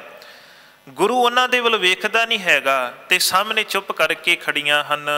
ਕਰਾਮਾਤ ਕੋ ਸਾਗਰ ਭਾਰੀ ਬੂੰਦ ਸਮਾਨ ਜਾਣਨ ਹੈ ਪਿਆਰੀ। ਕਰਾਮਾਤ ਸਾਗਰ ਕੋ ਭਾਰੀ ਧੰਨ ਗੁਰੂ ਅੰਗਦ ਦੇਵ ਸੱਚੇ ਪਾਤਸ਼ਾਹ ਜੀ ਕਰਾਮਾਤ ਦੇ ਸਾਗਰ ਨੇ ਤੇ ਉਹ ਬੂੰਦਾਂ ਨੇ। ਜਿਸ ਬੰਦੇ ਕੋਲ ਸਾਗਰ ਹੋਵੇ ਉਹ ਬੂੰਦਾਂ ਦੇ ਵੱਲ ਖਿਆਲ ਨਹੀਂ ਕਰਦਾ ਜਿੰਦੇ ਕੋਲ ਸਾਗਰ ਦਾ ਪਾਣੀ ਬੂੰਦਾਂ ਵੱਲ ਨਹੀਂ ਵੇਖੇਗਾ। ਗੁਰੂ ਅੰਗਦ ਦੇਵ ਸੱਚੇ ਪਾਤਸ਼ਾਹ ਜੀ ਕਰਾਮਾਤ ਦੇ ਸਾਗਰ ਨੇ ਤੇ ਆ ਜਿਹੜੀਆਂ ਨਿੱਕੀਆਂ ਛੋਟੀਆਂ ਮੋਟੀਆਂ ਰਿੱਧੀਆਂ ਸਿੱਧੀਆਂ ਨੇ ਬੂੰਦਾਂ ਵਰਗੀਆਂ ਨੇ ਸਾਹਿਬ ਜੀ ਇਹਨਾਂ ਵੱਲ ਧਿਆਨ ਨਹੀਂ ਦਿੰਦੇ ਹਨ। ਕਬੋ ਨਾ ਹਿਤ ਕਰ ਕਿਸੋਂ ਦਿਖਾਈ ਮਨੋ ਸਮੀਪ ਨਾ ਏਵ ਛਪਾਈ। ਗੁਰੂ ਅੰਗਦ ਦੇਵ ਸੱਚੇ ਪਾਤਸ਼ਾਹ ਜੀ ਨੇ ਇਹ ਕਰਾਮਾਤ ਕਿਸੇ ਨੂੰ ਵਿਖਾਈ ਨਹੀਂ ਆਪਣੇ ਪਰਪਸ ਵਾਸਤੇ ਵਰਤੀ ਹੋਈ ਕਿਸੇ ਨੂੰ ਦੁੱਖ ਦੇਣ ਵਾਸਤੇ ਵਰਤੀ ਹੋਈ। ਸਹਿਬ ਜੀ ਨੇ ਨਾ ਕਰਾਮਾਤ ਵਿਖਾਈ ਮਨੋ ਸਮੀਪ ਨਾ ਏਵ ਛੁਪਾਈ ਆਪਣੇ ਆਪ ਨੂੰ ਛੁਪਾ ਕੇ ਰੱਖਿਆ ਉਹਨਾਂ ਨੂੰ ਲਾਗੇ ਨਹੀਂ ਲਾਇਆ ਹੈ। ਅਜਰ ਜਰਨ ਸ੍ਰੀ ਅੰਗਦ ਜੈਸੇ ਭੂਤ ਭਵਿਖਿਆਨ ਅਬ ਭਾਤ ਐਸੇ। ਕਵੀ ਜੀ ਕਹਿੰਦੇ ਗੁਰੂ ਅੰਗਦ ਦੇਵ ਸੱਚੇ ਪਾਤਸ਼ਾਹ ਜੀ ਅਜਰ ਨੂੰ ਜਰਨ ਵਾਲੇ ਨੇ ਜਿਹੜੀ ਚੀਜ਼ ਜਰੀ ਨਹੀਂ ਜਾ ਸਕਦੀ ਉਹਨੂੰ ਜਰ ਲੈਂਦੇ ਨੇ। ਸਹਿਬ ਦੇ ਵਰਗਾ ਪਾਸਟ ਵਿੱਚ ਫਿਊਚਰ ਦੇ ਵਿੱਚ ਕੋਈ ਨਹੀਂ ਹੈ। ਦੋਹਰਾ ਰਚਨ ਸੰਘਾਰਨ ਲੋਕ ਤਰੈ ਅਸ ਸ਼ਕਤੀ ਕੋ ਪਾਏ। ਨਿਬਲ ਨਰਨ ਤੇ ਦੁਖ ਸਹੈ ਧੰਨ ਗੁਰੂ ਸੁਖਦਾਏ ਜਿਹੜਾ ਅਕਾਲ ਪੁਰਖ ਵਾਹਿਗੁਰੂ ਦੁਨੀਆ ਨੂੰ ਰਚ ਕੇ ਖਤਮ ਕਰ ਸਕਦਾ ਹੈ ਉਸ ਮਾਲਕ ਦੇ ਨਾਲ ਜੁੜ ਕੇ ਉਸ ਵਰਗੀ ਸ਼ਕਤੀ ਗੁਰੂ ਅੰਗਦ ਦੇਵ ਸੱਚੇ ਪਾਤਸ਼ਾਹ ਜੀ ਨੇ ਪਾ ਲਈ ਹੈ। ਨਿਬਲ ਨਰਨ ਤੇ ਦੁਖ ਸਹੈ ਧੰਨ ਗੁਰੂ ਸੁਖਦਾਏ ਮਾੜੇ ਬੰਦੇ ਜਿਹੜੇ ਗੁਰੂ ਨਾਲ ਜੁੜੇ ਨਹੀਂ, ਦੁੱਖ ਸਹਿੰਦੇ ਨੇ ਤੇ ਗੁਰੂ ਦੇ ਜਿਹੜੇ ਸਿੱਖ ਨੇ, ਗੁਰੂ ਨਾਲ ਜੁੜ ਗਏ ਨੇ, ਉਹ ਧਨ ਹਨ। ਦੋਹਰਾ ਇਸ ਪ੍ਰਕਾਰ ਕੇਤ ਦਿਵਸ ਬੀਤ ਗਏ ਤਿਸ ਥਾਨ। ਇਸ ਤਰੀਕੇ ਦੇ ਨਾਲ ਗੁਰੂ ਅੰਗਦ ਦੇਵ ਸੱਚੇ ਪਾਤਸ਼ਾਹ ਜੀ ਨੂੰ ਕਾਫੀ ਸਮਾਂ ਖਡੂਰ ਸਾਹਿਬ ਬਤੀਤ ਹੋਇਆ ਹੈ। ਪ੍ਰਗਟੈ ਜਗ ਮੈਂ ਨਹਿ ਅਧਿਕ ਸ਼੍ਰੀ ਅੰਗਦ ਗੁਣ ਖਾਨ। ਤੇ ਗੁਰੂ ਅੰਗਦ ਦੇਵ ਸੱਚੇ ਪਾਤਸ਼ਾਹ ਨੇ ਆਪਣੇ ਆਪ ਨੂੰ ਛੁਪਾ ਕੇ ਰੱਖਿਆ ਦੁਨੀਆ ਦੇ ਵਿੱਚ ਬਹੁਤੇ ਪ੍ਰਗਟ ਨਹੀਂ ਹੋਏ ਹਨ। ਕਹੋ ਪਈ ਇੱਕ ਖਡੂਰ ਮੈਂ ਤਪਾ ਰਹਤ ਹੈ ਆਪਣੀ ਸੁਤਤ ਜੋ ਸਦਾ ਕਹਿਤ ਹੈ। ਕਵੀ ਜੀ ਕਹਿੰਦੇ ਨੇ ਵੀ ਖਡੂਰ ਦੇ ਵਿੱਚ ਜਿਹੜਾ ਖਡੂਰ ਪਿੰਡ ਹੈ ਉਹਦੇ ਵਿੱਚ ਇੱਕ ਤਪਾ ਰਹਿੰਦਾ ਹੈ ਤਪ ਕਰਨ ਵਾਲਾ ਰਹਿੰਦਾ ਹੈ। ਆਪਣੀ ਸਤੁਤ ਜੋ ਸਦਾ ਕਹਿਤ ਹੈ ਜਿਹੜਾ ਬੰਦਾ ਉਹ ਤਪਾ ਆਪਣੀ ਉਸਤਤੀ ਚਾਹੁੰਦਾ ਹਮੇਸ਼ਾ ਚਾਹੁੰਦਾ ਲੋਕੀ ਮੇਰੀ ਵਾਵਾ ਕਰਨ ਮੈਨੂੰ ਮੱਥੇ ਟੇਕਣ ਮੇਰੇ ਅੱਗੇ ਪਟਾਵਾਂ ਰੱਖਣ ਭਾਵ ਉਹ ਹਮੇਸ਼ਾ ਆਪਣੀ ਉਸਤਤ ਚਾਹੁੰਦਾ ਹੈ। ਜੰਤਰ ਮੰਤਰ ਕਰਬੇ ਜਿਸੇ ਆਵੇ ਲੋਕਨ ਵਿਖੈ ਪਖੰਡ ਕਮਾਵੇ। ਲੋਕਾਂ ਦੇ ਵਿੱਚ ਪਖੰਡ ਕਰਦਾ ਹੈ। ਜੰਤਰ ਮੰਤਰ ਇਤਾਦੇ ਕਰਕੇ ਲੋਕਾਂ ਨੂੰ ਕਹਿੰਦਾ ਤੁਸੀਂ ਮੇਰੇ ਕੋਲ ਆਓ ਮੈਂ ਤੁਹਾਡੇ ਕੰਮ ਸਵਾਰਾਂਗਾ। ਤੇ ਕੀ ਕਰਦਾ? ਸਾਹਿਬ ਕਹਿੰਦੇ ਨੇ ਕਵੀ ਜੀ ਕਹਿੰਦੇ ਨੇ ਵੀ ਲੋਕਾਂ ਦੇ ਵਿੱਚ ਪਖੰਡ ਕਰਦਾ ਹੈ। ਬਹੁਤੇ ਨਰ ਜਿਸ ਮਾਨੈ ਆਨ ਚਰਨ ਧਰੈ ਸਿਰ ਨਮੋ ਬਖਾਨ। ਖਡੂਰ ਦੇ ਵਿੱਚ ਬੜੇ ਲੋਕ ਉਹਦੇ ਕੋਲ ਆ ਕਰਕੇ ਉਹਦੀ ਈਨ ਮੰਨਦੇ ਨੇ ਉਹਦੇ ਪੈਰਾਂ ਦੇ ਵਿੱਚ ਆਪਣਾ ਸਿਰ ਰੱਖਦੇ ਨੇ ਪਖੰਡ ਬਹੁਤ ਕਰਦਾ। ਪਖੰਡੀ ਬੰਦੇ ਕੋਲ ਬਹੁਤ ਲੋਕ ਜਾਣਗੇ ਪਰ ਸੱਚਾ ਬੰਦਾ ਹੋਏਗਾ ਤੇ ਸੱਚੇ ਬੰਦੇ ਦੀ ਗੱਲ ਸੁਣਨ ਵਾਸਤੇ ਕੋਈ ਤਿਆਰ ਨਹੀਂ ਹੋਏਗਾ, ਰਾਜ਼ੀ ਨਹੀਂ ਹੋਏਗਾ। ਸੋ ਇਹ ਧਰਮ ਦੇ ਵਿੱਚ ਬੜਾ ਚੱਲਦਾ। ਧਰਮ ਦੇ ਵਿੱਚ ਵੇਖਦੇ ਹਾਂ ਵੀ ਜਿੰਨੇ ਬੰਦੇ, ਜਿੰਨਾ ਇਨਸਾਨ ਪਖੰਡ ਕਰਦਾ, ਬਹੁਤੇ ਲੋਕ ਮਗਰ ਲੱਗ ਜਾਂਦੇ ਨੇ ਵੀ ਵਾਹ, ਇਹ ਕਮਾਲ ਕਰਦਾ ਪਿਆ ਹੈ। ਪਰ ਜਿਹੜਾ ਬੰਦਾ ਸੱਚਾ ਹੈ, ਉਹਦੇ ਪਿੱਛੇ ਛੇਤੀ ਨਹੀਂ ਆਉਣਗੇ। ਸਾਹਿਬ ਜੀ ਨੇ ਬਾਣੀ ਦੇ ਵਿੱਚ ਬਚਨ ਕੀਤੇ, ਕਹਿਣ ਲੱਗੇ, ਵੀ ਗਲੇ ਜਿਨਾ ਜਪ ਮਾਲੀਆਂ, ਲੋਟੇ ਹੱਥ ਨੇ ਬਗ ਗਲ ਦੇ ਵਿੱਚ ਮਾਲਾ ਪਾਈ ਹੈ। ਹੱਥ ਵਿੱਚ ਲੋਟਾ ਪਕੜਿਆ, ਧਾਰਮਿਕ ਚਿੰਨ ਧਾਰਨ ਕੀਤੇ ਨੇ, ਪਰ ਕਹਿਣ ਲੱਗੇ, ਓਏ, ਹਰ ਕੇ ਸੰਤ ਨਾ ਆਖੀਐ ਬਨਾਰਸ ਕੇ ਠੱਗ, ਉਹ ਰੱਬ ਦੇ ਸੰਤ ਨਹੀਂ ਹੈਗੇ, ਉਹ ਬਨਾਰਸ ਦੇ ਠੱਗ ਨੇ। ਕਿਉਂ? ਉਹਨਾਂ ਦੇ ਜਿਹੜੇ ਧਾਰਮਿਕ ਚਿੰਨ ਨੇ, ਉਹਨਾਂ ਦੇ ਪਿੱਛੇ ਪਰਪਸ ਕੀ ਹੈ ਲੋਕਾਂ ਨੂੰ ਠੱਗਣਾ। ਤੇ ਜਿੰਨੇ ਪਖੰਡ ਕਰਦੇ ਨੇ, ਲੋਕੀ ਇੰਪ੍ਰੈਸ ਹੋ ਜਾਂਦੇ ਨੇ ਤੇ ਲੋਕਾਂ ਨੂੰ ਠੱਗ ਲੈਂਦੇ ਨੇ। ਇਹ ਜਿਹੜਾ ਤਪਾ ਹੈ, ਕਵੀ ਜੀ ਕਹਿੰਦੇ ਨੇ, ਬੜਾ ਪਖੰਡ ਕਰਦਾ ਹੈ। ਲੋਕ ਉਨੇ ਜ਼ਿਆਦਾ ਇਹਦੇ ਕੋਲ ਆਉਂਦੇ ਨੇ ਮੱਥੇ ਟੇਕਦੇ ਹਨ। ਜਿਸ ਕੋ ਕਹਿਓ ਕਰੈ ਸਭ ਕੋਏ ਬਹੁਤ ਭਾਂਤ ਤਿਸ ਪੂਜਾ ਹੋਏ। ਜਿਸ ਬੰਦੇ ਨੂੰ ਵੀ ਤਪਾ ਕਹਿ ਦੇ ਵੀ ਇਹ ਕੰਮ ਕਰਨਾ ਹੈ ਉਹ ਬੰਦਾ ਉਦਾਂ ਕਰਦਾ ਹੈ ਇੰਦੀ ਫਿਰ ਬਹੁਤ ਪੂਜਾ ਹੁੰਦੀ ਹੈ। ਹਰੇ ਜਾਟ ਖਡੂਰ ਮੰਝਾਰ ਬਸਤੂ ਤੇ ਸਹਿ ਵੱਡ ਪਰਿਵਾਰ। ਇੱਥੇ ਖਡੂਰ ਪਿੰਡ ਦੇ ਵਿੱਚ ਜ਼ਿਮੀਂਦਾਰਾਂ ਦੇ ਜੱਟਾਂ ਦੇ ਘਰ ਨੇ ਖੈਰਾ ਉਹਨਾਂ ਦੀ ਗੋਤ ਹੈ। ਇਹਨਾਂ ਦੇ ਕਾਫੀ ਪਰਿਵਾਰ ਖਡੂਰ ਪਿੰਡ ਵਿੱਚ ਰਹਿੰਦੇ ਹਨ। ਸਰਬਤ ਪੇ ਕੀ ਮਾਨੈ ਅਨਕੋ ਪਾਇਨ ਦੇਵ ਨ ਠਾਨੈ। ਇਹ ਜਿੰਨੇ ਵੀ ਜ਼ਿਮੀਂਦਾਰਾਂ ਦੇ ਘਰ ਨੇ ਸਾਰੇ ਤਪੇ ਦੀ ਆਗਿਆ ਨੂੰ ਮੰਨਦੇ ਨੇ ਉਹਦੇ ਅੱਗੇ ਪਿਟਾਵਾਂ ਲੈ ਕਰਕੇ ਜਾਂਦੇ ਹਨ। ਦੁਗਧ ਦਧੀ ਕ੍ਰਿਤ ਅਰ ਮਿਸ਼ਟਾਨਾ ਪਰਬਨ ਵਿਖੈ ਲਿਆਏ ਪ੍ਰਧਾਨਾ। ਹੁਣ ਇਹ ਜਿੰਨੇ ਜ਼ਿਮੀਂਦਾਰਾਂ ਦੇ ਘਰ ਨੇ ਇਹਨਾਂ ਦੇ ਕੋਲ ਡੰਗਰ ਨੇ ਪਸ਼ੂ ਨੇ ਤੇ ਫਿਰ ਇਹ ਦੁੱਧ ਲੈ ਕੇ ਜਾਂਦੇ ਨੇ ਦਹੀਂ ਲੈ ਕਰਕੇ ਘਿਓ ਲੈ ਕਰਕੇ ਮਿੱਠੇ ਪਦਾਰਥ ਲਿਆ ਕਰਕੇ ਕਣਕ ਲੈ ਕਰਕੇ ਅਨਾਜ ਲੈ ਕਰਕੇ ਉਸ ਤਪੇ ਦੇ ਕੋਲ ਜਾਂਦੇ ਨੇ ਉਹਨੂੰ ਜਾ ਕਰਕੇ ਮੱਥਾ ਟੇਕਦੇ ਹਨ। ਤਹਿ ਟਿਗ ਅਰਪੈ ਬਿਨਾ ਬਖਾਨੈ ਇਤਿਆਦਿਕ ਪ੍ਰਿਯ ਵਸਤੂ ਆਨੈ। ਉਹਦੇ ਕੋਲ ਜਾ ਕਰਕੇ ਮੱਥਾ ਟੇਕਦੇ ਨੇ ਵਸਤੂਆਂ ਭੇਟ ਕਰਦੇ ਨੇ ਤੇ ਉਹਦੀ ਆਗਿਆ ਨੂੰ ਮੰਨਦੇ ਹਨ। ਜਿਸ ਤੇ ਡਰੈ ਗ੍ਰਾਮ ਨਰ ਸਾਰੇ ਨਹਿਰ ਸਤਾਰ ਕੁਬਾਕੂ ਚਾਰੇ। ਨਗਰ ਦੇ ਜਿਹੜੇ ਲੋਕ ਨੇ ਉਹਦੇ ਕੋਲੋਂ ਡਰਦੇ ਵੀ ਨੇ ਤੇ ਉਹਦੇ ਗੁੱਸੇ ਦੇ ਕਰਕੇ ਵੀ ਸਾਨੂੰ ਕੋ ਸਰਾਫ ਨਾ ਦੇ ਦੇਵੇ। ਉਹਦੇ ਅਗੇਂਸਟ ਕੋਈ ਵੀ ਮਾੜਾ ਬਚਨ ਨਹੀਂ ਕਹਿੰਦੇ। ਜਦੋਂ ਗੁਰੂ ਅੰਗਦ ਦੇਵ ਸੱਚੇ ਪਾਤਸ਼ਾਹ ਨਗਰ ਦੇ ਵਿੱਚ ਆਏ ਇਹਦੀ ਮਹਿਮਾ ਘਟਣੀ ਸ਼ੁਰੂ ਹੋ ਗਈ ਸੀ। ਲੋਕ ਇਹਦੇ ਵੱਲ ਜਾਣੇ ਧੰਨ ਗੁਰੂ ਅੰਗਦ ਦੇਵ ਸੱਚੇ ਪਾਤਸ਼ਾਹ ਦੇ ਵੱਲ ਜਾਣੇ ਸ਼ੁਰੂ ਹੋ ਗਏ ਸਨ। ਬਹੁਤੇ ਲੋਕ ਅਜੇ ਤੱਕ ਵੀ ਕਨੈਕਟਡ ਸਨ। ਤਪੇ ਨੂੰ ਸਾੜਾ ਹੋਣ ਲੱਗ ਪਿਆ ਸੀ ਈਰਖਾ ਕਰਨ ਲੱਗ ਪਿਆ ਸੀ ਵੀ ਮੇਰੇ ਗੁਰੂ ਅੰਗਦ ਦੇਵ ਸੱਚੇ ਪਾਤਸ਼ਾਹ ਦੇ ਆਣ ਕਰਕੇ ਮੇਰੀ ਮਾਨਤਾ ਘਟ ਹੋ ਗਈ ਹੈ ਮੇਰੀ ਇੱਜ਼ਤ ਘਟ ਗਈ ਹੈ। ਪਰ ਅਜੇ ਤੱਕ ਵੀ ਕਾਫੀ ਲੋਕ ਕਵੀ ਜੀ ਕਹਿੰਦੇ ਨੇ ਵੀ ਇਹਦੇ ਕੋਲ ਜਾਂਦੇ ਨੇ ਇਹਦੇ ਪ੍ਰਥਾਏ ਇਹਦੇ ਬਾਰੇ ਕੋਈ ਵੀ ਅਪਸ਼ਬਦ ਨਹੀਂ ਬੋਲਦੇ। ਕਹੈ ਸੋ ਮਾਨੈ ਨਰ ਗ੍ਰਾਮੀਨ ਜੋ ਸੰਤਨ ਕੋ ਕਹੈ ਸਭ ਚੀਨ। ਇਹਦਾ ਜਿਹੜਾ ਕਹਿਆ ਜ਼ਿਮੀਦਾਰ ਮੰਨਦੇ ਨੇ ਇਹਦੇ ਅਨੁਸਾਰ ਰਹਿੰਦੇ ਹਨ ਤੇ ਕਵੀ ਜੀ ਕਹਿੰਦੇ ਨੇ ਜੋ ਜੇ ਸੰਤਨ ਕੋ ਸਕੈ ਨਾ ਚੀਨ ਜਿਹੜੇ ਇਸ ਤਪੇ ਨੂੰ ਪਹਿਚਾਨ ਨਹੀਂ ਸਕਦੇ ਇਹਦੀ ਅਸਲੀਅਤ ਨੂੰ ਪਹਿਚਾਨ ਨਹੀਂ ਸਕਦੇ ਉਹੀ ਪੂਜਦੇ ਹਨ। ਪ੍ਰਿਯ ਬਾਸ ਗੁਰ ਤਿਸ ਕੋ ਨਿਸਬਾਸਰ ਕਰਹੀ ਸੇ ਧਨ ਧਾਨ ਸੋ ਬਿਨੈ ਉਚਰਹੀ। ਕਵੀ ਜੀ ਕਹਿੰਦੇ ਨੇ ਹੁਣ ਦਿਨ ਰਾਤ ਤਪੇ ਦੀ ਸੇਵਾ ਹੁੰਦੀ ਹੈ ਇਹਨੂੰ ਪੈਸਾ ਵੀ ਮਿਲਦਾ ਹੈ ਦੁੱਧ ਵੀ ਮਿਲਦਾ ਘਿਓ ਵੀ ਮਿਲਦਾ ਅਨਾਜ ਵੀ ਮਿਲਦਾ ਹੈ। ਤਹਾਂ ਬਾਸ ਗੁਰ ਅੰਗਦ ਕੇਰਾ ਨਹੀਂ ਮਹਾਤਮ ਲਖੈ ਕਨੇਰਾ ਹੁਣ ਉਸੇ ਨਗਰ ਦੇ ਵਿੱਚ ਜਿੱਥੇ ਤਪਾ ਰਹਿੰਦਾ ਗੁਰੂ ਅੰਗਦ ਦੇਵ ਸੱਚੇ ਪਾਤਸ਼ਾਹ ਜੀ ਉਸੇ ਨਗਰ ਦੇ ਵਿੱਚ ਰਹਿ ਰਹੇ ਨੇ। ਪਰ ਇਹ ਜਿਹੜਾ ਤਪਾ ਸੀ ਗੁਰੂ ਅੰਗਦ ਦੇਵ ਸੱਚੇ ਪਾਤਸ਼ਾਹ ਜੀ ਦੀ ਮਹਾਨਤਾ ਨੂੰ ਸਮਝ ਨਹੀਂ ਸਕਿਆ ਵੀ ਮੇਰੇ ਲਾਗੇ ਰੱਬ ਰਹਿ ਰਿਹਾ ਹੈ। ਮੇਰੇ ਲਾਗੇ ਰੱਬ ਦਾ ਰੂਪ ਪਰਮੇਸ਼ਰ ਦਾ ਰੂਪ ਰਹਿੰਦਾ ਹੈ। ਕਵੈ ਨ ਜਾਏ ਨਿਵਾਵੈ ਸੀਸ ਨਹਿ ਮਾਨੈ ਇਸ ਸਭ ਜਗ ਈਸ਼। ਹੁਣ ਤਪਾ ਈਰਖਾ ਕਰਦਾ ਸੀ। ਕਦੀ ਵੀ ਗੁਰੂ ਅੰਗਦ ਦੇਵ ਸੱਚੇ ਪਾਤਸ਼ਾਹ ਤੇ ਕੋਲ ਗਿਆ ਨਹੀਂ। ਸਿਰ ਨਵਾਇਆ ਨਹੀਂ। ਆਪਣਾ ਆਪ ਨੂੰ ਸਮਰਪਣ ਨਹੀਂ ਕੀਤਾ ਤੇ ਨਾ ਹੀ ਧੰਨ ਗੁਰੂ ਅੰਗਦ ਦੇਵ ਸੱਚੇ ਪਾਤਸ਼ਾਹ ਜੀ ਨੂੰ ਰੱਬ ਦਾ ਰੂਪ ਸਮਝਿਆ। ਅਪਰ ਲੋਕ ਜਿਮ ਬਾਸੈ ਗ੍ਰਾਮ ਤਿਉ ਜਾਣੈ ਇਹ ਪੀਰ ਹੈ ਧਾਮ। ਤਪਾ ਸਮਝਦਾ ਹੈ ਵੀ ਜਿੱਦਾਂ ਬਾਕੀ ਲੋਕ ਨਗਰ ਦੇ ਵਿੱਚ ਰਹਿੰਦੇ ਨੇ ਇਦਾਂ ਗੁਰੂ ਅੰਗਦ ਦੇਵ ਸੱਚੇ ਪਾਤਸ਼ਾਹ ਰਹਿ ਰਹੇ ਨੇ। ਜਿੱਦਾਂ ਬਾਕੀ ਲੋਕ ਆਮ ਲੋਕ ਨੇ ਇਦਾਂ ਹੀ ਗੁਰੂ ਅੰਗਦ ਦੇਵ ਸੱਚੇ ਪਾਤਸ਼ਾਹ ਹਨ। ਸਤ ਸੰਗੀ ਜਿਨ ਮਹਿ ਨਹਿ ਕੋਈ ਕਿਮ ਪ੍ਰਭਾਵ ਜੋ ਜਾਣੈ ਸੋਈ। ਹੁਣ ਕਵੀ ਜੀ ਕਹਿੰਦੇ ਵੀ ਨਗਰ ਦੇ ਜਿਹੜੇ ਲੋਕ ਨੇ ਸਤ ਸੰਗੀ ਇਹਨਾਂ ਦੇ ਵਿੱਚ ਬਹੁਤ ਘੱਟ ਨੇ। ਤੇ ਕਿਵੇਂ ਗੁਰੂ ਦਾ ਪ੍ਰਭਾਵ ਜਾਣ ਸਕਦੇ ਨੇ? ਜਦੋਂ ਤੱਕ ਗੁਰੂ ਦੇ ਕੋਲ ਗਏ ਹੀ ਨਹੀਂ ਉਦੋਂ ਤੱਕ ਪ੍ਰਭਾਵ ਨਹੀਂ ਪਤਾ ਲੱਗੇਗਾ। ਕੇਤਕ ਸਮਾਂ ਬਤੀਤਨ ਭਇਓ ਬਰਖਾ ਬਿਨਾ ਸਮੈ ਤਬ ਹੋਇਓ। ਹੁਣ ਹੋਇਆ ਕੀ ਹੈ? ਕਾਫੀ ਸਮਾਂ ਬਤੀਤ ਹੋ ਗਿਆ ਪਰ ਉਸ ਇਲਾਕੇ ਦੇ ਵਿੱਚ ਜਿਹੜੀ ਬਰਖਾ ਸੀ ਬਰਸਾਤ ਸੀ ਉਹ ਨਾ ਹੋਈ। ਮਾਸ ਭਾਦਰ ਪਦ ਔੜ ਲੱਗੀ ਅਸ ਸਭੀ ਸ਼ੁਸ਼ਕ ਹੋਈ ਗਈ ਵੱਡ ਸਸ। ਹੁਣ ਜਦੋਂ ਭਾਦਰੋਂ ਦਾ ਮਹੀਨਾ ਆਇਆ ਹੈ ਔੜ ਲੱਗ ਹੈ ਭਾਵ। ਜਦੋਂ ਮੌਨਸੂਨ ਆਉਂਦਾ ਹੈ ਜੂਨ ਜੁਲਾਈ ਦੇ ਵਿੱਚ ਉਹ ਮਹੀਨੇ ਆ ਗਏ ਨੇ ਪਰ ਬੱਦਲ ਨਾ ਵਰਿਆ। ਔੜ ਲੱਗ ਗਈ ਭਾਵ ਸੋਕਾ ਪੈ ਗਿਆ। ਜ਼ਮੀਨਾਂ ਸੀ ਜਿਹੜੀਆਂ ਉਹ ਸੁੱਕ ਗਈਆਂ ਹਨ। ਪੁਰਬ ਜੋ ਹਾਂ ਪਿਖਤ ਹਰਿਆਏ ਬਿਨ ਪਾਕੇ ਫਿਰ ਗੀ ਜਰਦਾਈ ਪਹਿਲਾਂ ਜਿੱਥੇ ਜਿੱਥੇ ਹਰਿਆਵਲ ਸੀ ਗ੍ਰੀਨਰੀ ਸੀ ਉੱਥੇ ਉੱਥੇ ਹੁਣ ਕਈ ਲੱਗੇ ਵੀ ਹੁਣ ਸੋਕਾ ਫਿਰ ਗਿਆ ਹੈ। ਫਸਲਾਂ ਕੁਮਲਾ ਗਈਆਂ ਹਨ। ਬਿਨਾਂ ਪਾਣੀ ਤੋਂ ਫਸਲ ਨਹੀਂ ਹੋ ਰਹੀ ਹੈ। ਹਵੈਨ ਹੈ ਅਨ ਤਰਸੇ ਗ੍ਰਾਮੀਨ ਹਮਰੇ ਤੋ ਜੀਵਨ ਹੋ ਚੀਨ। ਲੋਕਾਂ ਨੇ ਵੇਖਿਆ ਜ਼ਿਮੀਂਦਾਰਾਂ ਨੇ ਵੇਖਿਆ ਕਿਸਾਨਾਂ ਨੇ ਵੇਖਿਆ ਮੀਂਹ ਪਿਆ ਨਹੀਂ ਫਸਲਾਂ ਸਾਡੀਆਂ ਸੁੱਕ ਗਈਆਂ ਨੇ ਖਾਵਾਂਗੇ ਕੀ? ਉਹ ਅੰਨ ਨੂੰ ਤਰਸਣ ਲੱਗੇ ਹਨ।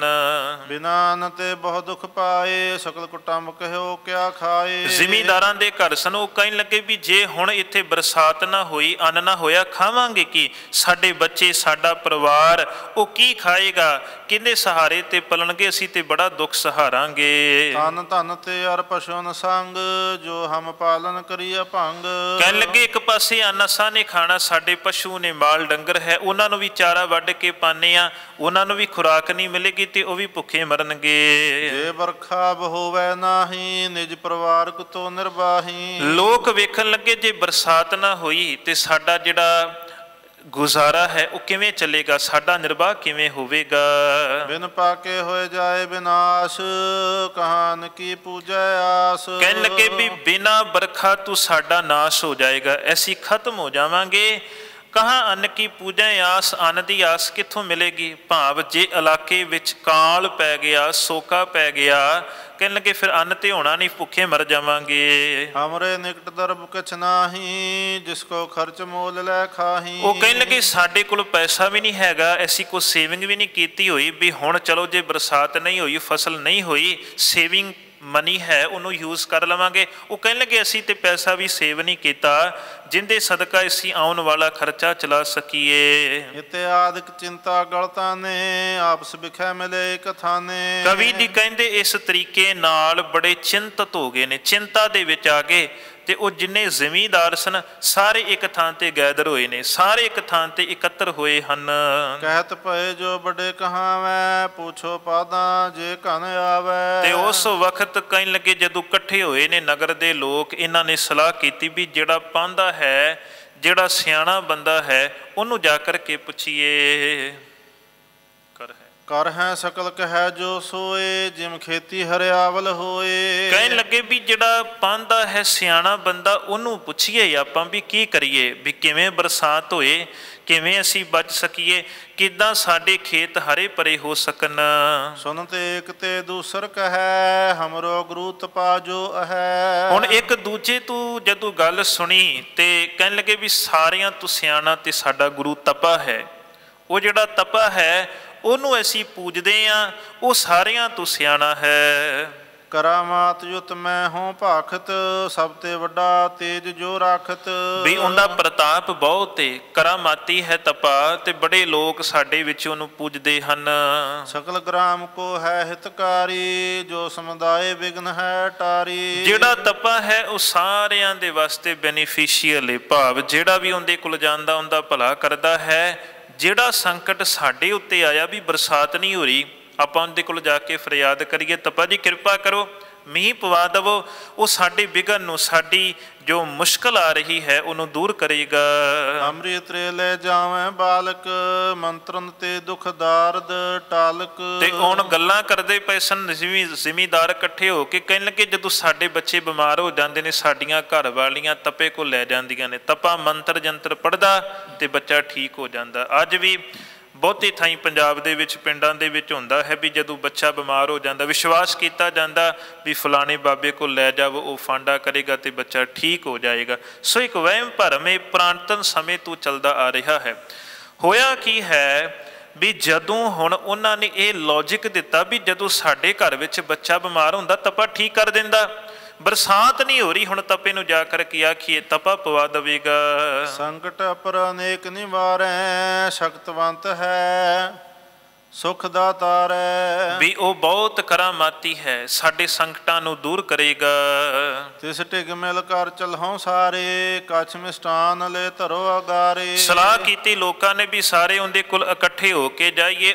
ਤੇ ਉਹਦੇ ਕੋਲ ਕੁਝ ਮਿੱਠਾ ਲੈ ਜਾਈਏ ਕੋਈ ਸਵੀਟ ਚੀਜ਼ ਉਹਦੇ ਕੋਲ ਲੈ ਜਾਈਏ ਤੇ ਉਹਦੇ ਅੱਗੇ ਜਾ ਕਰ ਕੇ ਮੱਥਾ ਟੇਕੀਏ। ਕਰੈ ਬੇਨਤੀ ਪਰ ਕੈ ਪਾਏ ਤਿਸ ਤੇ ਜਾਚੋਂ ਬਰਖਾ ਆਏ। ਤੇ ਉਹਦੇ ਚਰਨੀ ਪੈ ਕਰਕੇ ਚਰਨਾਂ 'ਚ ਜਾ ਕੇ ਤੇ ਬੇਨਤੀ ਕਰੀਏ ਤਪਾ ਜੀ ਕਿਰਪਾ ਕਰੋ ਮੀਂਹ ਪਵਾ ਦਵੋ। ਆਸ ਮਸਲਤ ਕਰ ਬ੍ਰਿਧ ਸਭ ਲੀਨ ਗਪਏ ਤਪੇ ਢਿਗ ਚਿੰਤਾ ਕੀਨ। ਕਵੀ ਜੀ ਕਹਿੰਦੇ ਹੁਣ ਸਲਾਹ ਕੀਤੀ ਇਸ ਤਰੀਕੇ ਨਾਲ ਜਦੋਂ ਆਪਸ ਦੇ ਵਿੱਚ ਸਲਾਹ ਕੀਤੀ ਹੈ ਅਸ ਮਸਲਤ ਕਰ ਬ੍ਰਿਧ ਸਭ ਲੀਨੇ ਗਏ ਤਪੇ ਟਿਗ ਚਿੰਤਾ ਕੀਨੇ ਸਾਰਿਆਂ ਨੇ ਜਦੋਂ ਸਲਾਹ ਕੀਤੀ ਇਕੱਠੇ ਹੋ ਕੇ ਤਪੇ ਕੋਲ ਚੱਲ ਗਏ ਨੇ ਚੱਲ ਪਏ ਨੇ ਤੇ ਆਪਣੀ ਜਿਹੜੀ ਚਿੰਤਾ ਹੈ ਟੈਨਸ਼ਨ ਹੈ ਉਹ ਤਪੇ ਕੋਲ ਹੁਣ ਜ਼ਾਹਰ ਕਰਨ ਲੱਗੇ ਹਨ। ਗਾਦੀ ਕੋ ਲਗਾਏ ਸੋ ਬੈਸਾ ਸ਼ਬਦ ਦੰਭ ਧਰ ਮੂਰਤ ਜੈਸਾ। ਕਵੀ ਜੀ ਕਹਿੰਦੇ ਸਾਰੇ ਜ਼ਿਮੀਦਾਰ ਇਕੱਠੇ ਹੋ ਕੇ ਗਏ ਨੇ ਉਹ ਗੱਦੀ ਲਾ ਕੇ ਆਰਾਮ ਨਾਲ ਬੈਠਾ ਸੀ। ਜਿਹੜਾ ਪਖੰਡ ਦੀ ਮੂਰਤ ਸੀ ਚੌਂਕੜੀ ਮਾਰੀ ਸੀ ਤੇ ਅੱਖਾਂ ਬੰਦ ਕਰਕੇ ਪਖੰਡ ਦੀ ਮੂਰਤ ਬਣ ਕੇ ਬੈਠਾ ਹੋਇਆ ਸੀ। ਧਰਿਓ ਅਗਾਰੀ ਕਰ ਮਿਸਟਾਨ ਨਮੋ ਸਬਨ ਕਰ ਬੰਦੇ ਪਾਨ। ਤੇ ਸਾਰਿਆਂ ਨੇ ਜਾ ਕਰਕੇ ਪਹਿਲਾਂ ਮਿੱਠਾ ਰੱਖਿਆ ਤੇ ਮੁੜ ਕੇ ਉਹਦੇ ਪੈਰੀ ਹੱਥ ਲਾ ਕਰਕੇ ਬੈਠ ਗਏ ਹਨ। ਰਿਧਨ ਤਿਸ ਕੋ ਜਸ ਬਹੁ ਭਾਖਾ ਤੁਮ ਪੂਰ ਹੋ ਬਹੁਤ ਨ ਬਿਲਾਖਾ। ਤੇ ਇਹ ਜਿਹੜੇ ਲੋਕ ਸਨ ਇਹਨਾਂ ਦੇ ਵਿੱਚ ਜਿਹੜੇ ਸਿਆਣੇ ਬੰਦੇ ਸਨ ਉਹ ਅੱਗੇ ਹੋਏ। ਤੇ ਸਭ ਤੋਂ ਪਹਿਲਾਂ ਉਹ ਤਪੇ ਦੇ ਉਸਤਤ ਕਰਨ ਲੱਗ ਪਏ ਨੇ ਤਪੇ ਨੂੰ ਵਡਿਆਉਣ ਲੱਗ ਪਏ ਹਨ। ਅਜ ਮਤਵਾਨ ਮਹਾਨ ਪਛਾਨੇ ਬਹੁ ਆਵਤ ਤੁਮ ਢਿਗ ਦੁਖ ਹਾਨੇ। ਤਪੇ ਨੂੰ ਕਹਿਣ ਲੱਗੇ ਵੀ ਤੂੰ ਬਹੁਤ ਅਜ਼ਮਤਵਾਨ ਹੈ ਤੁਸੀਂ ਬੜੇ ਅਜ਼ਮਤਵਾਨ ਹੋ ਤੁਹਾਡੇ ਵਿੱਚ ਬੜੀ ਕਲਾ ਹੈ। ਤੁਸੀਂ ਕਈ ਤਰ੍ਹਾਂ ਦੇ ਮਰੀਕਲ ਕਰਦੇ ਹੋ ਬੜੇ ਲੋਕ ਤੁਹਾਡੇ ਕੋਲ ਆਉਂਦੇ ਨੇ ਆਪਣੇ ਦੁੱਖਾਂ ਦਾ ਨਾਸ਼ ਕਰਵਾਉਣ ਲਈ। ਜਾਂ ਤੇ ਰਾਵਰ ਕੀ ਬਹੁ ਕੀਰਤ ਹੈ ਸਮੁਦਾਇ ਗ੍ਰਾਮ ਵਿਸਤੀਰਤ।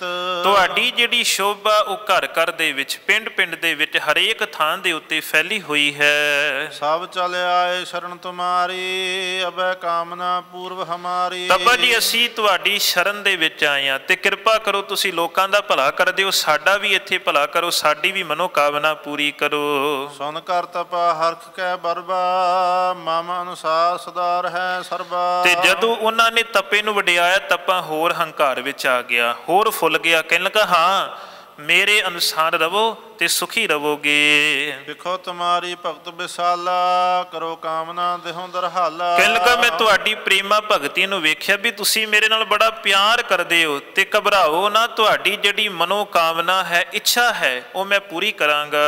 ਤੁਮ ਮੇਰੇ ਹੋ ਸੇਵਕ ਸਾਰੇ ਪੂਜੋ ਚਰਨ ਦੇਹ ਦੁਖ ਟਾਰੇ। ਕਹਿਣ ਲੱਗਾ ਤੁਸੀਂ ਮੇਰੇ ਸਾਰੇ ਸੇਵਕ ਬਸ ਮੇਰੇ ਚਰਨਾਂ ਨੂੰ ਪੂਜਦੇ ਰਹੋ ਇਦਾਂ ਮੱਥੇ ਟੇਕਦੇ ਰਹੋ ਭੇਟਾਵਾਂ ਰੱਖਦੇ ਰਹੋ ਜਿੰਨੇ ਤੁਹਾਡੇ ਦੁੱਖ ਨੇ ਮੈਂ ਸਾਰੇ ਦੂਰ ਕਰ ਦਵਾਂਗਾ। ਸੁਨ ਕੈ ਰਾਹਕ ਬਿਖੈ ਬਖਾਨੀ ਸੁਨੋ ਤਪਾਜੀ ਦੁਰਲਭ ਪਾਨੀ। ਹੁਣ ਉਹ ਜਿਹੜੇ ਸਿਆਣੇ ਸਨ, ਉਹਨਾਂ ਦੇ ਵਿੱਚੋਂ ਜਿਹੜੇ ਬਜ਼ੁਰਗ ਸਨ, ਤੇ ਉਹਨਾਂ ਨੇ ਫਿਰ ਹੁਣ ਤਪੇ ਨੂੰ ਆਣਾ ਆਖਣਾ ਕੀਤਾ। ਹੁਣ ਉਹ ਪੁਆਇੰਟ ਵਾਲੀ ਗੱਲ ਦੇ ਉੱਤੇ ਆਏ ਨੇ। ਕਹਿਣ ਲੱਗੇ, ਤੋਪਾ ਜੀ, ਬੇਨਤੀ ਇਦਾਂ ਹੈ ਵੀ ਜਿਹੜਾ ਪਾਣੀ ਹੈ, ਉਹ ਬੜਾ ਦੁਰਲਭ ਹੈ, ਬੜਾ ਔਖਾ ਲੱਭਦਾ ਹੈ। ਪ੍ਰਥਮ ਭਈ ਬਰਖਾ ਬਹੁ ਧਰਾ, ਬੀਜੇ ਖੇਤ ਉਗੈ ਰੰਗ ਹਰਾ। ਤੱਬਾ ਜੀ, ਜਦੋਂ ਐਸੀ ਪਹਿਲਾਂ ਫਸਲ ਬੀਜੀ, ਬਰਸਾਤ ਹੋਈ ਸਾਡੀ ਫਸਲ ਉਗੀ ਸਾਰੇ ਪਾਸੇ ਹਰਿਆਵਲ ਹੋ ਗਈ। ਬ੍ਰਿਧੀ ਅਰੋਗ ਵੱਡੀ ਜਬ ਹੋਈ ਹਟੇ ਮੇਘ ਨ ਆਏ ਨਾ ਕੋਈ। ਹੁਣ ਜਦੋਂ ਸਾਡੀ ਫਸਲ ਵੱਡੀ ਹੋ ਗਈ ਹੈ ਪੱਕਣ ਤੇ ਆ ਗਈ ਮੀਂਹ ਕੋ ਪੈਂਦਾ ਨਹੀਂ ਪਿਆ ਬੱਦਲ ਕੋਈ ਇਸ ਇਲਾਕੇ ਵਿੱਚ ਨਹੀਂ ਆ ਰਿਹਾ ਹੈ। ਬੀਤਿਓ ਕੇਤਕ ਕਾਲ ਬਿਨ ਪਾਨੀ ਹਰੀ ਹੋਤੀ ਸਕਲੀ ਕਮਲਾਨੀ। ਕਹਿਣ ਲੱਗਾ ਕਹਿਣ ਲੱਗੇ ਫਸਲਾਂ ਨੂੰ ਪਾਣੀ ਚਾਹੀਦਾ ਹੈ। ਪਾਣੀ ਇੱਥੇ ਬਰਸਾਤ ਪਈ ਨੇ। ਜਿੰਨੀਆਂ ਫਸਲਾਂ ਸੰਸਾਰੀਆਂ ਹਰੀਆਂ ਉਹ ਕੁਮਲਾ ਗਈਆਂ ਨੇ ਉਹ ਸੁੱਕ ਗਈਆਂ ਹਨ। ਵਹਿਰ ਅਨ ਜੇ ਹੋਇਓ ਨਾਹੀ ਸ਼ੰਕਾ ਹਮਰੇ ਜੀਵਨ ਮਾਹੀ। ਹੁਣ ਜੇ ਮੀਂਹ ਨਾ ਪਿਆ ਤੇ ਫਸਲ ਬਰਬਾਦ ਹੋ ਜਾਣੀ ਅਸੀਂ ਬਰਬਾਦ ਹੋ ਜਾਵਾਂਗੇ। ਸਾਡੇ ਮਨ 'ਚ ਇਹ ਸ਼ੰਕਾ ਹੈ ਵੀ ਇੰਨਾ ਟਾਈਮ ਹੋ ਗਿਆ ਮੀਂਹ ਦਾ ਸੀਜ਼ਨ ਹੈ ਮੌਨਸੂਨ ਦਾ ਸੀਜ਼ਨ ਪਾਣੀ ਬਰਸਾਤ ਪੈਂਦੀ ਨਹੀਂ ਪਈ। ਪਾਣੀ ਮਿਲਦਾ ਨਹੀਂ ਪਿਆ ਸਾਨੂੰ ਇਹ ਬਹੁਤ ਵੱਡਾ ਸ਼ੰਕਾ ਹੈ। ਜਾਂ ਤੇ ਕਰਨਾ ਕਰੋ ਮਹਾਨੀ ਜਿਸ ਤੇ ਕਨ ਹੋਏ ਮੋਚੈ ਪਾਨੀ ਕਿਰਪਾ ਕਰੋ ਤੁਸੀਂ ਸਾਡੇ ਤੇ ਮਿਹਰ ਕਰੋ ਇਦਾਂ ਦੀ ਕੋਈ ਕਲਾ ਵਰਤਾਓ ਵੀ ਜਿਹੜਾ ਬੱਦਲ ਹੈ ਉਹ ਵਰਨਾ ਸ਼ੁਰੂ ਹੋ ਜਾਏ। ਭਾਵ ਬੱਦਲ ਪਏ ਸਾਡੀਆਂ ਖੇਤੀਆਂ ਹਰੀਆਂ ਭਰੀਆਂ ਹੋ ਜਾਣ। ਸੁਨਤਤ ਪੇਨੇ ਬਾਤ ਵਿਚਾਰੀ ਹੁਤੋ ਗੁਰੂ ਸੋ ਮਸਤਸ ਭਾਰੀ। ਜਦੋਂ ਲੋਕਾਂ ਨੇ ਇਕੱਠੇ ਹੋ ਕਰਕੇ ਬੇਨਤੀ ਕੀਤੀ ਤਪੇ ਨੇ ਸਾਰੇ ਲੋਕਾਂ ਦੇ ਵੱਲ ਵੇਖਿਆ ਫਿਰ ਵਿਚਾਰ ਕੀਤੀ ਹੈ। ਹੁਤੋ ਗੁਰੂ ਸੋ ਮਤ ਮਤਸਰ ਭਾਰੀ ਤੇ ਕਵੀ ਜੀ ਕਹਿੰਦੇ, ਜਿਹੜਾ ਤਪਾ ਗੁਰੂ ਅੰਗਦ ਦੇਵ ਸੱਚੇ ਪਾਤਸ਼ਾਹ ਨਾਲ ਈਰਖਾ ਕਰਦਾ ਸੀ, ਹੁਣ ਥੋੜਾ ਚਿਰ ਉਹ ਚੁੱਪ ਕਰ ਗਿਆ, ਕੁਝ ਨਹੀਂ ਬੋਲਿਆ, ਵਿਚਾਰ ਕਰਨੀ ਸ਼ੁਰੂ ਕਰ ਦਿੱਤੀ ਵੀ ਲੋਕੀ ਮੁਸੀਬਤ 'ਚ ਨੇ, ਮੇਰੇ ਕੋਲ ਆਏ ਨੇ, ਹੁਣ ਸੋਚਣ ਲੱਗ ਪਿਆ ਵੀ ਮੈਂ ਕੋਈ ਇਦਾਂ ਦਾ ਟ੍ਰਿਕ ਖੇਡਾਂ ਇਦਾਂ ਦੀ ਚਾਲ ਚੱਲਾਂ ਵੀ ਇੱਕ ਤੀਰ ਨਾਲ ਦੋ ਕੰਮ ਹੋ ਜਾਣ, ਲੋਕ ਵੀ ਟੁੱਟ ਜਾਣ ਤੇ ਗੁਰੂ ਅੰਗਦ ਦੇਵ ਸੱਚੇ ਪਾਤਸ਼ਾਹ ਦੀ ਕਿਸੇ ਤਰੀਕੇ ਦੇ ਨਾਲ ਮੇਰੇ ਤੋਂ ਥੱਲੇ ਹੋ ਜਾਣ ਤੇ ਮੇਰੀ ਫਿਰ ਬੱਲੇ ਬੱਲੇ ਹੋ ਜਾਏ ਜਿੱਦਾਂ ਮੈਂ ਪਹਿਲਾਂ ਇੱਕ ਨੰਬਰ ਤੇ ਸਾਂ ਉਸੇ ਹੀ ਤਰ੍ਹਾਂ ਹੋ ਜਾਵਾਂ। ਆਏ ਵਹਿਰ ਤੇ ਸਿੱਖ ਕਨੇਰੇ ਰਹਿਤ ਨਿਕਟ ਪੁਨ ਗਮਨੈ ਡੇਰੇ। ਹੁਣ ਚੁੱਪ ਕੀਤਾ ਹੈ ਸੋਚਦਾ ਪਿਆ ਕਹਿਣ ਲੱਗਾ ਵੀ ਜਦੋਂ ਦੇ ਗੁਰੂ ਅੰਗਦ ਦੇਵ ਸੱਚੇ ਪਾਤਸ਼ਾਹ ਖਡੂਰ ਆਏ ਨੇ ਬਾਹਰੋਂ ਬੜੇ ਲੋਕ ਆਉਂਦੇ ਨੇ ਉਹਦੇ ਡੇਰੇ ਵਿੱਚ ਧਰਮਸ਼ਾਲਾ ਦੇ ਵਿੱਚ ਰਹਿੰਦੇ ਹਨ। ਤਿਨ ਕੋ ਦੇਖਤ ਦੁਖਤ ਮਨ ਮਾਹੀ ਗੁਰਤਾ ਗਰਦਨ ਸਕੈ ਸਕ ਸਹ ਸਕੈ ਨਾਹੀ। ਤੱਪਾ ਕਹਿੰਦਾ ਜਦੋਂ ਮੈਂ ਬਾਹਰ ਵਾਲੇ ਲੋਕਾਂ ਨੂੰ ਵੇਖਦਾ ਵਾਂ ਮੈਨੂੰ ਬੜਾ ਦੁੱਖ ਹੁੰਦਾ ਵੀ ਮੈਂ ਇੱਥੇ ਘਰ ਵਿੱਚ ਬੈਠਾ ਇਹ ਲੋਕ ਦੂਰੋਂ ਦੂਰੋਂ ਚੱਲ ਕੇ ਗੁਰੂ ਅੰਗਦ ਦੇਵ ਸੱਚੇ ਪਾਤਸ਼ਾਹ ਕੋਲ ਆ ਕੇ ਮੱਥੇ ਟੇਕਦੇ ਨੇ ਮੈਨੂੰ ਕੋਈ ਮੱਥਾ ਨਹੀਂ ਟੇਕਦਾ। ਮੇਰੇ ਅੱਗੇ ਇਹਨਾਂ ਦੇ ਵਿੱਚ ਕੋਈ ਭੇਟਾ ਨਹੀਂ ਰੱਖਦਾ ਬਸ ਆਹੀ ਕੁਝ ਕੁ ਲੋਕ ਹੈਨ ਜੋ ਮੇਰੀ ਈਨ ਮੰਨਦੇ ਨੇ ਮੇਰੇ ਫੋਲੋਵਰ ਨੇ। ਹੁਣ ਗੁਰਤਾ ਗੁਰਗੱਦੀ ਨੂੰ ਵੇਖ ਕੇ ਸੜਦਾ ਪਿਆ ਹੈ ਸਹਿ ਨਹੀਂ ਸਕਦਾ ਹੈ। ਮਹਾ ਤਪਤ ਤਹਿ ਚਿਤ ਚਿੰਤਾ ਧਰਤਾ ਨਿਸ ਦਿਨ ਮਹਾ ਊਸਾ ਕਰਤਾ। ਹੁਣ ਦਿਨ ਰਾਤ ਈਰਖਾ ਕਰਦਾ ਸੀ ਗੁਰੂ ਅੰਗਦ ਦੇਵ ਸੱਚੇ ਪਾਤਸ਼ਾਹ ਤੋਂ ਸੜਦਾ ਸੀ ਵੀ ਮੇਰੇ ਤੋਂ ਜ਼ਿਆਦਾ ਉਪਮਾ ਕਿਵੇਂ ਹੈ? ਖਹਿਰੇ ਸੇਵਕ ਹੈ ਮਿਤ ਮੇਰੇ, ਨਹਿ ਪਰਮਾਏ ਜਾਏ ਤਿਸ ਡੇਰੇ। ਕਹਿਣ ਲੱਗਾ ਕਹਿਣ ਲੱਗਾ, ਹਾਂ, ਸੋਚ, ਸੋਚਦਾ ਪਿਆ ਮਨ ਵਿੱਚ ਵੀ ਇਹ ਜਿਹੜੇ ਜ਼ਿਮੀਦਾਰ ਬੈਠੇ ਨੇ, ਖਹਿਰੇ ਬੈਠੇ ਨੇ, ਖਹਿਰੇ ਇਹਨਾਂ ਦੀ ਗੋਤ ਹੈ, ਇਹ ਤੇ ਮੇਰੇ ਫੋਲੋਵਰ ਨੇ।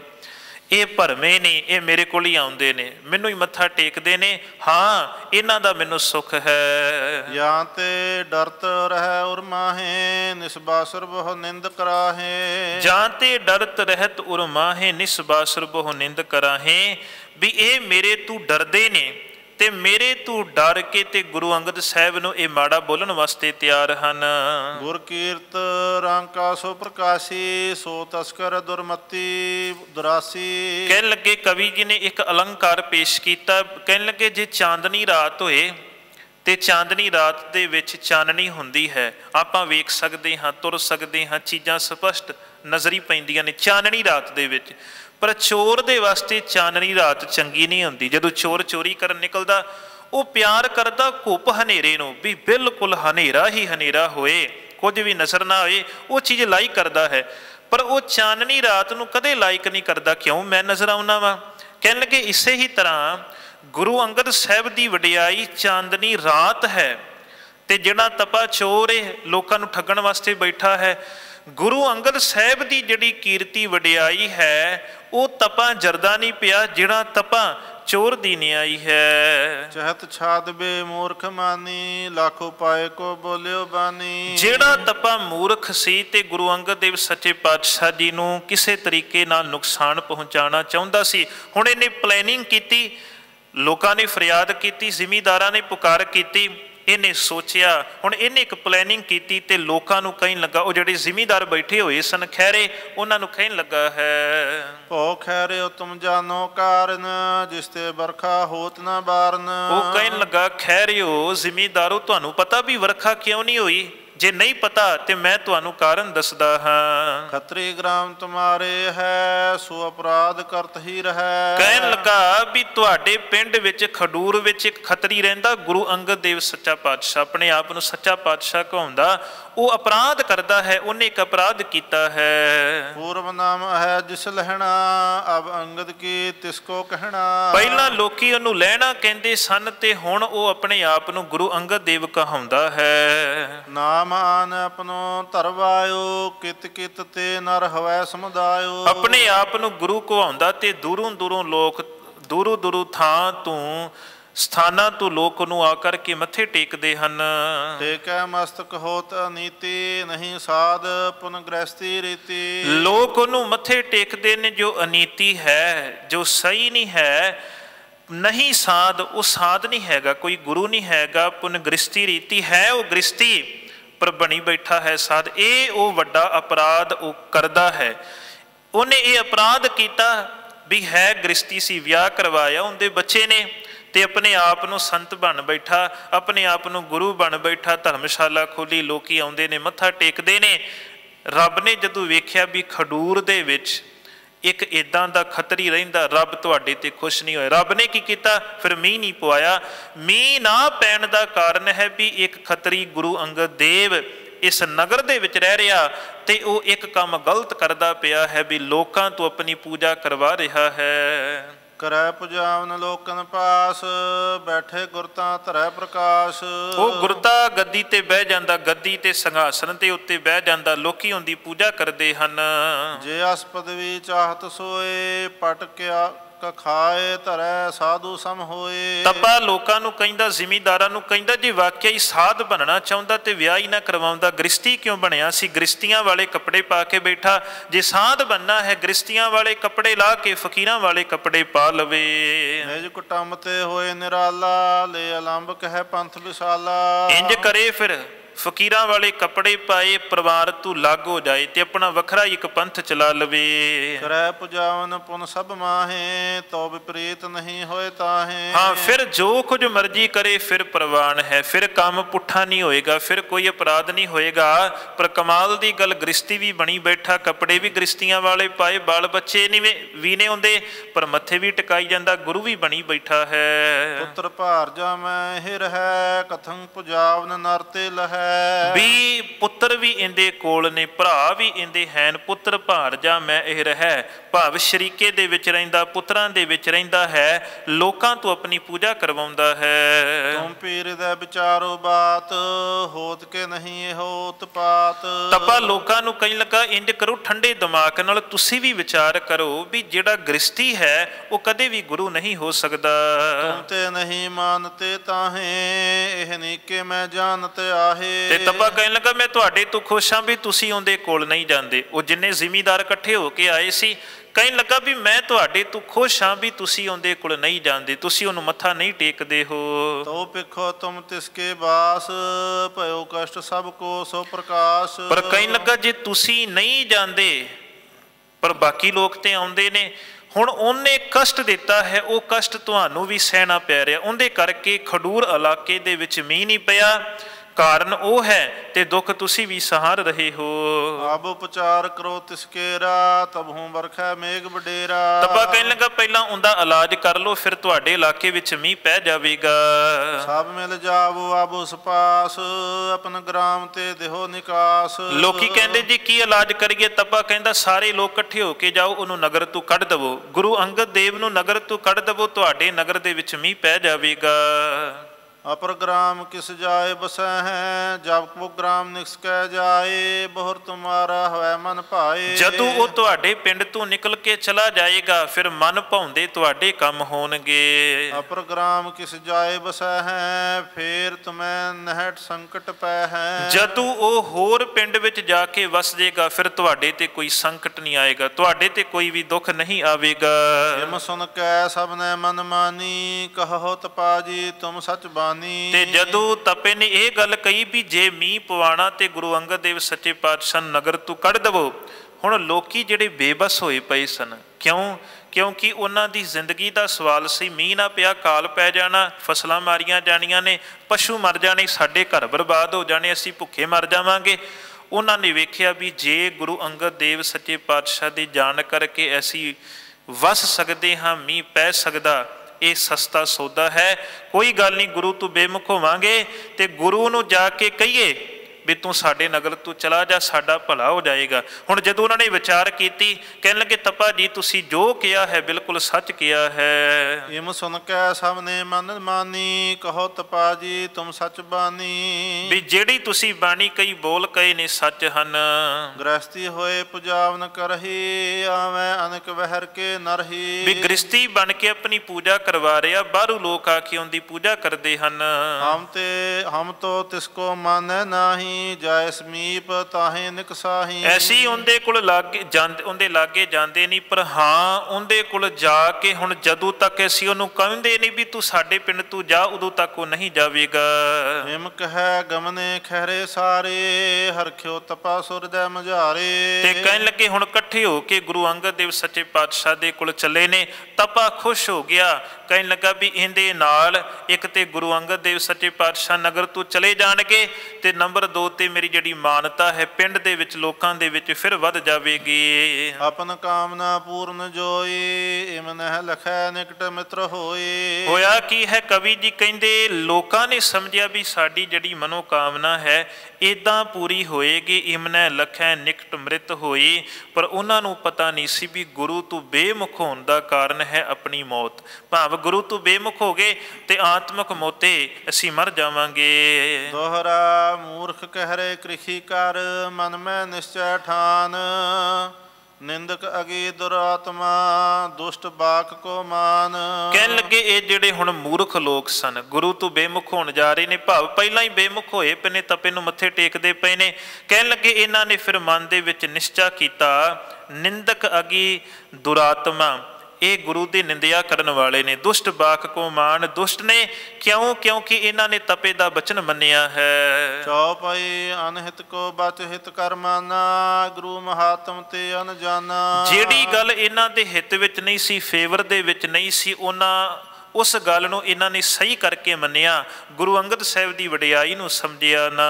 ਮਹਾਮੰਦ ਮਤ 9 10 ਮਿਲੇ ਸ੍ਰੀ ਗੁਰੂ ਸਤਗੁਰ ਕੇ ਘਰ ਚਲੇ। ਕਵੀ ਜੀ ਕਹਿੰਦੇ 10 9 10 ਜ਼ਿਮੀਂਦਾਰ ਇਕੱਠੇ ਹੋਏ ਤੇ ਜਿਸ ਦਿਸ਼ਾ ਦੇ ਵੱਲ ਧੰਨ ਗੁਰੂ ਅੰਗਦ ਦੇਵ ਸੱਚੇ ਪਾਤਸ਼ਾਹ ਦਾ ਦਰਬਾਰ ਸੀ ਉਸ ਪਾਸੇ ਵੱਲ ਹੋ ਤੁਰੇ ਹਨ। ਹਿਮ ਤਰਕਨ ਹਿਤ ਗੁਰ ਟਿਕ ਗਏ ਗਿਰਾ ਕੋਠੋਰੀ ਭਾਖਤ ਭਏ। ਗੁਰੂ ਅੰਗਦ ਦੇਵ ਸੱਚੇ ਪਾਤਸ਼ਾਹ ਦੇ ਦਰਬਾਰ ਦੇ ਵਿੱਚ ਗਏ ਨੇ ਤੇ ਇਹਨਾਂ ਨੇ ਕਠੋਰ ਬਚਨ ਕੀਤੇ ਹਨ। ਇਹਾਂ ਬਸਨ ਨਹਿ ਠੀਕ ਤੁਮਾਰੋ ਜਹ ਇਛੋ ਥਲ ਆਨ ਪਧਾਰੋ। ਕਠੋਰ ਬਚਨ ਕੀਤੇ ਕੋੜਾ ਬਚਨ ਬੋਲਿਆ ਗੁਰੂ ਅੰਗਦ ਸਾਹਿਬ ਨੂੰ ਕਹਿਣ ਲੱਗੇ ਵੀ ਤੇਰਾ ਇਸ ਨਗਰ ਦੇ ਵਿੱਚ ਰਹਿਣਾ ਚੰਗਾ ਨਹੀਂ ਇੰਜ ਕਰ ਤੂੰ ਹੋਰ ਥਾਂ ਦੇ ਉੱਤੇ ਚਲਾ ਜਾ। ਬਰਖਾ ਹਟੀ ਬਿਗਨ ਕ੍ਰਿਖ ਭਾਰੀ ਅਖਿਲ ਗ੍ਰਾਮ ਕੋ ਸੰਕਟ ਧਾਰੀ। ਉਹ ਕਹਿਣ ਲੱਗੇ ਤੇਰੇ ਕਰਕੇ ਇਸ ਨਗਰ ਦੇ ਵਿੱਚ ਵਰਖਾ ਨਹੀਂ ਪਈ। ਤੇਰੇ ਕਰਕੇ ਸਾਰੇ ਜਿਹੜੇ ਲੋਕ ਨੇ ਸੰਕਟ ਸਹਿ ਰਹੇ ਹਨ। ਸਭ ਹਨ ਕੋ ਅਤ ਚਿੰਤਾ ਹੇਤ ਹੈ ਤੁਮਾਰੋ ਏਕ ਅਨਿਕੇਤ। ਸਾਰੀ ਚਿੰਤਾ ਦਾ ਕਾਰਨ ਤੇਰਾ ਘਰ ਹੈ ਤੇਰਾ ਦਰਬਾਰ ਹੈ ਤੂੰ ਸਾਰੀ ਚਿੰਤਾ ਦਾ ਕਾਰਨ ਹੈ। ਏਕ ਗ੍ਰਾਮ ਹਿਤ ਦੇਸ਼ ਦੁਖਾਵੈ ਤਉ ਤਹ ਤਿਆਗਨ ਹੀ ਬਨ ਆਵੇ। ਉਹ 9-10 ਜ਼ਿਮੀਂਦਾਰ ਇਕੱਠੇ ਹੋਏ ਸਨ। ਉਹ ਕਹਿਣ ਲੱਗੇ ਸਿਆਣਿਆਂ ਦਾ ਕਥਨ ਹੈ ਵੀ ਜੇ ਇੱਕ ਪਿੰਡ ਦੇ ਕਰਕੇ ਇੱਕ ਦੇਸ਼ ਦੁਖੀ ਹੋਏ ਉਸ ਪਿੰਡ ਨੂੰ ਛੱਡ ਦੇਣਾ ਚਾਹੀਦਾ ਹੈ। ਇਕ ਕੁਲ ਹੇਤ ਗ੍ਰਾਮ ਦੁਖ ਪਾਏ ਤੋ ਤਿਸ ਕੁਲ ਕੋ ਤਿਆਗ ਕਰਾਏ। ਤੇ ਕਹਿਣ ਲੱਗੇ ਸਿਆਣੇ ਕਹਿੰਦੇ ਨੇ ਵੀ ਜੇ ਕਿਤੇ ਇੱਕ ਕੁਲ ਦੇ ਕਰਕੇ ਇੱਕ ਪਿੰਡ ਦਾ ਭਲਾ ਹੋ ਸਕੇ ਭਾਵ ਇੱਕ ਪਿੰਡ ਦਾ ਭਲਾ ਹੋ ਸਕੇ, ਉਸ ਕੁੱਲ ਨੂੰ ਛੱਡ ਦੇਣਾ ਚਾਹੀਦਾ। ਜਿਹੜੀ ਕੁੱਲ ਪਿੰਡ ਨੂੰ ਦੁੱਖ ਦੇ ਰਹੀ ਏ, ਉਹ ਕੁੱਲ ਤਿਆਗ ਦੋ, ਉਹ ਸ਼ਰੀਕਾ ਛੱਡ ਦਵੋ। ਇਕ ਕੇ ਤਿਆਗੇ ਕੁਲ ਬਚ ਰਹਿ ਕਰਹਿ ਤਜਨ ਯਉ ਬੁੱਧ ਜਨ ਕਹੈ। ਉਹ ਕਹਿਣ ਲੱਗੇ ਵੀ ਜੇ ਇੱਕ ਘਰ ਦੇ ਕਰਕੇ ਸਾਰਾ ਪਿੰਡ ਬਚ ਜਾਏ ਉਸ ਘਰ ਨੂੰ ਛੱਡ ਦੇਣਾ ਚਾਹੀਦਾ। ਸਿਆਣਿਆਂ ਦਾ ਬੁੱਧੀਮਾਨਾਂ ਦਾ ਇਸ ਤਰ੍ਹਾਂ ਦਾ ਕਥਨ ਹੈ। ਜਾਂ ਤੇ ਤੁਮ ਘਰ ਤਿਆਗਨ ਕਰੇ ਸਗਰੋ ਗ੍ਰਾਮ ਚਿੰਤਕੋ ਹਰੇ। ਉਹ ਜ਼ਿਮੀਦਾਰ ਕਹਿਣ ਲੱਗੇ ਵੀ ਹੁਣ ਤੂੰ ਇੰਜ ਕਰ ਰੁੱਖਾ ਬੋਲਦੇ ਪਏ ਨੇ ਗੁਰੂ ਅੰਗਦ ਸਾਹਿਬ ਨੂੰ ਕੋੜੇ ਬਚਨ ਬੋਲਦੇ ਪਏ ਨੇ। ਕਹਿਣ ਲੱਗੇ ਵੀ ਇੰਜ ਕਰ ਤੂੰ ਹੁਣ ਇਹ ਨਗਰ ਛੱਡ ਦੇ। ਤੇਰੇ ਛੱਡਣ ਦੇ ਕਰਕੇ ਸਾਰੇ ਲੋਕਾਂ ਦਾ ਭਲਾ ਹੋਏਗਾ। ਸਾਰੇ ਪਿੰਡ ਦੀ ਜਿਹੜੀ ਚਿੰਤਾ ਹੈ ਦੂਰ ਹੋ ਜਾਵੇਗੀ। ਇਨ ਮਨ ਜਾਨੋ ਨਿਕਸ ਸਿਧਾਰੋ ਨਹੀਂ ਘਟੀ ਅਬ ਰਹਿਨ ਤੁਮਾਰੋ। ਉਹ ਕਹਿਣ ਲੱਗੇ ਵੀ ਇੰਜ ਕਰ ਹੁਣ ਤੇਰਾ ਟਾਈਮ ਹੋ ਗਿਆ ਜਾਣ ਦਾ। ਆਪਣੇ ਮਨ ਵਿੱਚ ਵਿਚਾਰ ਕਰ ਤੂੰ ਇੱਕ ਵੀ ਘੜੀ ਇਸ ਥਾਂ ਦੇ ਉੱਤੇ ਨਹੀਂ ਰੁਕ ਸਕਦਾ। ਕਰੋ ਤਾਇਲ ਵਸਤ ਸਮਾਰੋ ਰਹਿ ਸ਼ੇਖ ਤਰ ਜਾਹੋ ਅਗਾਰੋ। ਤੇ ਉਹ ਹੁਣ ਕੋੜੇ ਬਚਨ ਬੋਲਦੇ ਪਏ ਨੇ ਸਤਕਾਰ ਨਾਲ ਨਹੀਂ ਬੁਲਾ ਰਹੇ ਵੀ ਤੁਸੀਂ ਇੰਜ ਕਰੋ ਤੁਸੀਂ ਇੰਜ ਕਰੋ। ਇੱਕ ਵਾਰਨਿੰਗ ਦੇ ਰਹੇ ਨੇ ਵੀ ਇੰਜ ਕਰ ਨਗਰ ਛੱਡ ਕੇ ਚਲਾ ਜਾ। ਇਦਾਂ ਦੇ ਬਚਨ ਨੇ। ਹੁਣ ਕਹਿਣ ਲੱਗੇ ਵੀ ਤੁਸੀਂ ਤੂੰ ਇੰਜ ਕਰ ਆਪਣਾ ਸਾਜੋ ਸਮਾਨ ਬਾਅਦ ਚ ਲੈ ਜਾਵੀਂ। ਛੇਤੀ ਨਾਲ ਇਸ ਨਗਰ ਤੂੰ ਆਪਣੇ ਪਰਿਵਾਰ ਨੂੰ ਲੈ ਕਰਕੇ ਚਲਾ ਜਾ। ਪੁਨ ਆਪਣੀ ਲੈ ਗਮਨ ਸਾਰੀ, ਚਲੇ ਜਾਹੋ ਨਹਿ ਕਰੋ ਅਵਾਰੀ। ਹੁਣ 9-10 ਜਿਨਿਆਂ ਨੇ ਕਿਹਾ ਵੀ ਜਿੱਥੇ ਵੀ ਤੁਹਾਨੂੰ ਥਾਂ ਮਿਲਦੀ, ਚਲੇ ਜਾਵੋ, ਇਸ ਥਾਂ ਦੇ ਉੱਤੇ ਨਾ ਰਵੋ ਗ੍ਰਾਮਾ ਧੀਸ ਗ੍ਰਾਮ ਨਰ ਸਾਰਨ ਮਤੋ ਏਕ ਹੈ ਵਹਿਰ ਨਿਕਾਰਨ। ਹੁਣ ਪਿੰਡ ਦਾ ਜਿਹੜਾ ਸਰਪੰਚ ਸੀ ਜਿਹੜਾ ਨੰਬਰਦਾਰ ਸੀ ਜਿਹੜੇ ਮੁਖੀ ਬੰਦੇ ਸਨ ਸਾਰਿਆਂ ਨੇ ਇੱਕ ਮਤਾ ਕੀਤਾ ਹੋਇਆ ਸੀ ਵੀ ਅਸੀਂ ਗੁਰੂ ਅੰਗਦ ਦੇਵ ਸੱਚੇ ਪਾਤਸ਼ਾਹ ਨੂੰ ਨਗਰ ਤੋਂ ਬਾਹਰ ਕੱਢਣਾ ਹੈ। ਕੋਇ ਨਾ ਪਖ ਤੁਮਾਰੋ ਕਰਹੀ ਜਿਸ ਤੇ ਰਹੋ ਧੀਰ ਉਰ ਤਰਹੀ ਉਹ 9-10 ਜ਼ਿਮੀਂਦਾਰ ਸਨ ਕਹਿਣ ਲੱਗੇ ਤੁਹਾਡਾ ਕੋਈ ਸਪੋਰਟਰ ਨਹੀਂ ਹੈਗਾ ਨਗਰ ਦੇ ਵਿੱਚ ਕੋਈ ਵੀ ਪੱਖੀ ਨਹੀਂ ਹੈਗਾ ਜਿੰਦੇ ਸਹਾਰੇ ਤੁਸੀਂ ਇੱਥੇ ਰੁਕ ਜਾਵੋਗੇ। ਬੜ ਬੁੱਧਵੰਤ ਤਪਾਜੀ ਕਹਿਓ ਤਿਸ ਕੋ ਬਸੇ ਤੁਮ ਨ ਦੁਖ ਸਹਿਓ। ਜਿਹੜੇ ਸਾਡੇ ਤਪਾ ਜੀ ਨੇ ਬੜੇ ਮਹਾਨ ਨੇ ਬੁੱਧੀਮਾਨ ਨੇ ਉਹਨਾਂ ਨੇ ਕਿਹਾ ਵੀ ਮੀਂਹ ਤਾਂ ਨਹੀਂ ਪਿਆ ਵੀ ਤੁਹਾਡੇ ਨਗਰ ਦੇ ਵਿੱਚ ਇੱਕ ਗ੍ਰਿਸ਼ਟੀ ਗੁਰੂ ਬਣ ਕੇ ਬੈਠਾ ਹੈ। ਉਹਦੇ ਕਰਕੇ ਸਾਰੇ ਪਿੰਡ ਉੱਤੇ ਸੰਕਟ ਹੈ। ਸਾਰੇ ਦੁੱਖ ਦਾ ਕਾਰਨ ਤੁਸੀਂ ਹੋ। ਕਰੀ ਗ੍ਰਾਮ ਪਰ ਕਿਰਪਾ ਬਡੇਰ ਜਿਤਨ ਬਤਾਇਓ ਬਰਖਾ ਹੇਰ। ਕਰੀ ਗ੍ਰਾਮ ਪਰ ਕਿਰਪਾ ਬਡੇਰ ਤੁਹਾਡੇ ਜਾਣ ਦੇ ਕਰਕੇ ਕਿਰਪਾ ਹੋਣੀ ਹੈ। ਤੁਸੀਂ ਜਾਓਗੇ ਤਾਂ ਮੀਂਹ ਪਵੇਗਾ। ਨਹੀਂ ਰੀਤ ਤੁਮਨੇ ਹੋ ਧਰੀ ਨਹਿ ਗ੍ਰਸਤੀ ਨਾ ਫਕੀਰੀ ਕਰੀ। ਵੀ ਤੁਸਾਂ ਨੇ ਇੱਕ ਨਵੀਂ ਰੀਤ ਤੋਰ ਦਿੱਤੀ ਵੀ ਗ੍ਰਿਸ਼ਤੀ ਵੀ ਬਣ ਗਏ ਫਕੀਰ ਵੀ ਬਣ ਗਏ। ਫਕੀਰ ਕਦੇ ਗ੍ਰਿਸ਼ਤੀ ਨਹੀਂ ਬਣਿਆ। ਬਾਲ ਬੱਚੇ ਵਾਲਾ ਨਹੀਂ ਹੋਇਆ ਪਰ ਤੁਸੀਂ ਤੇ ਗੁਰੂ ਵੀ ਬਣ ਬੈਠੇ ਹੋ ਤੇ ਤੁਸੀਂ ਵਿਆਹ ਵੀ ਕਰਵਾਇਆ ਤੁਹਾਡੇ ਬੱਚੇ ਵੀ ਹਨ। ਇਸੀ ਦੋਸਤੇ ਕੰਨ ਨਹਿ ਆਵੈ ਕ੍ਰਿਖੀ ਸ਼ੁਸ਼ਕ ਨੀਰ ਨਾ ਬਰਫਾਵੈ ਰੱਬ ਨੇ ਵੇਖਿਆ ਵੀ ਗ੍ਰਿਸ਼ਤੀ ਗੁਰੂ ਬਣ ਬੈਠਾ ਰੱਬ ਖੁਸ਼ ਨਹੀਂ ਹੋਇਆ ਇਸ ਕਰਕੇ ਬੱਦਲ ਨਹੀਂ ਹੋਏ। ਸਾਡੀਆਂ ਜਿਹੜੀਆਂ ਖੇਤੀਆਂ ਨੇ ਫਸਲਾਂ ਨੇ ਉਹ ਸੁੱਕ ਗਈਆਂ ਨੇ ਪਾਣੀ ਉਹਨਾਂ ਫਸਲਾਂ ਦੇ ਵਿੱਚ ਹੈ ਨਹੀਂ। ਪੰਚਾਇਤ ਪਤ ਹੈ ਇਸ ਗ੍ਰਾਮ ਸੋ ਸਭ ਕਹੈ ਨਿਕਸੋ ਤਜ ਧਾਮ।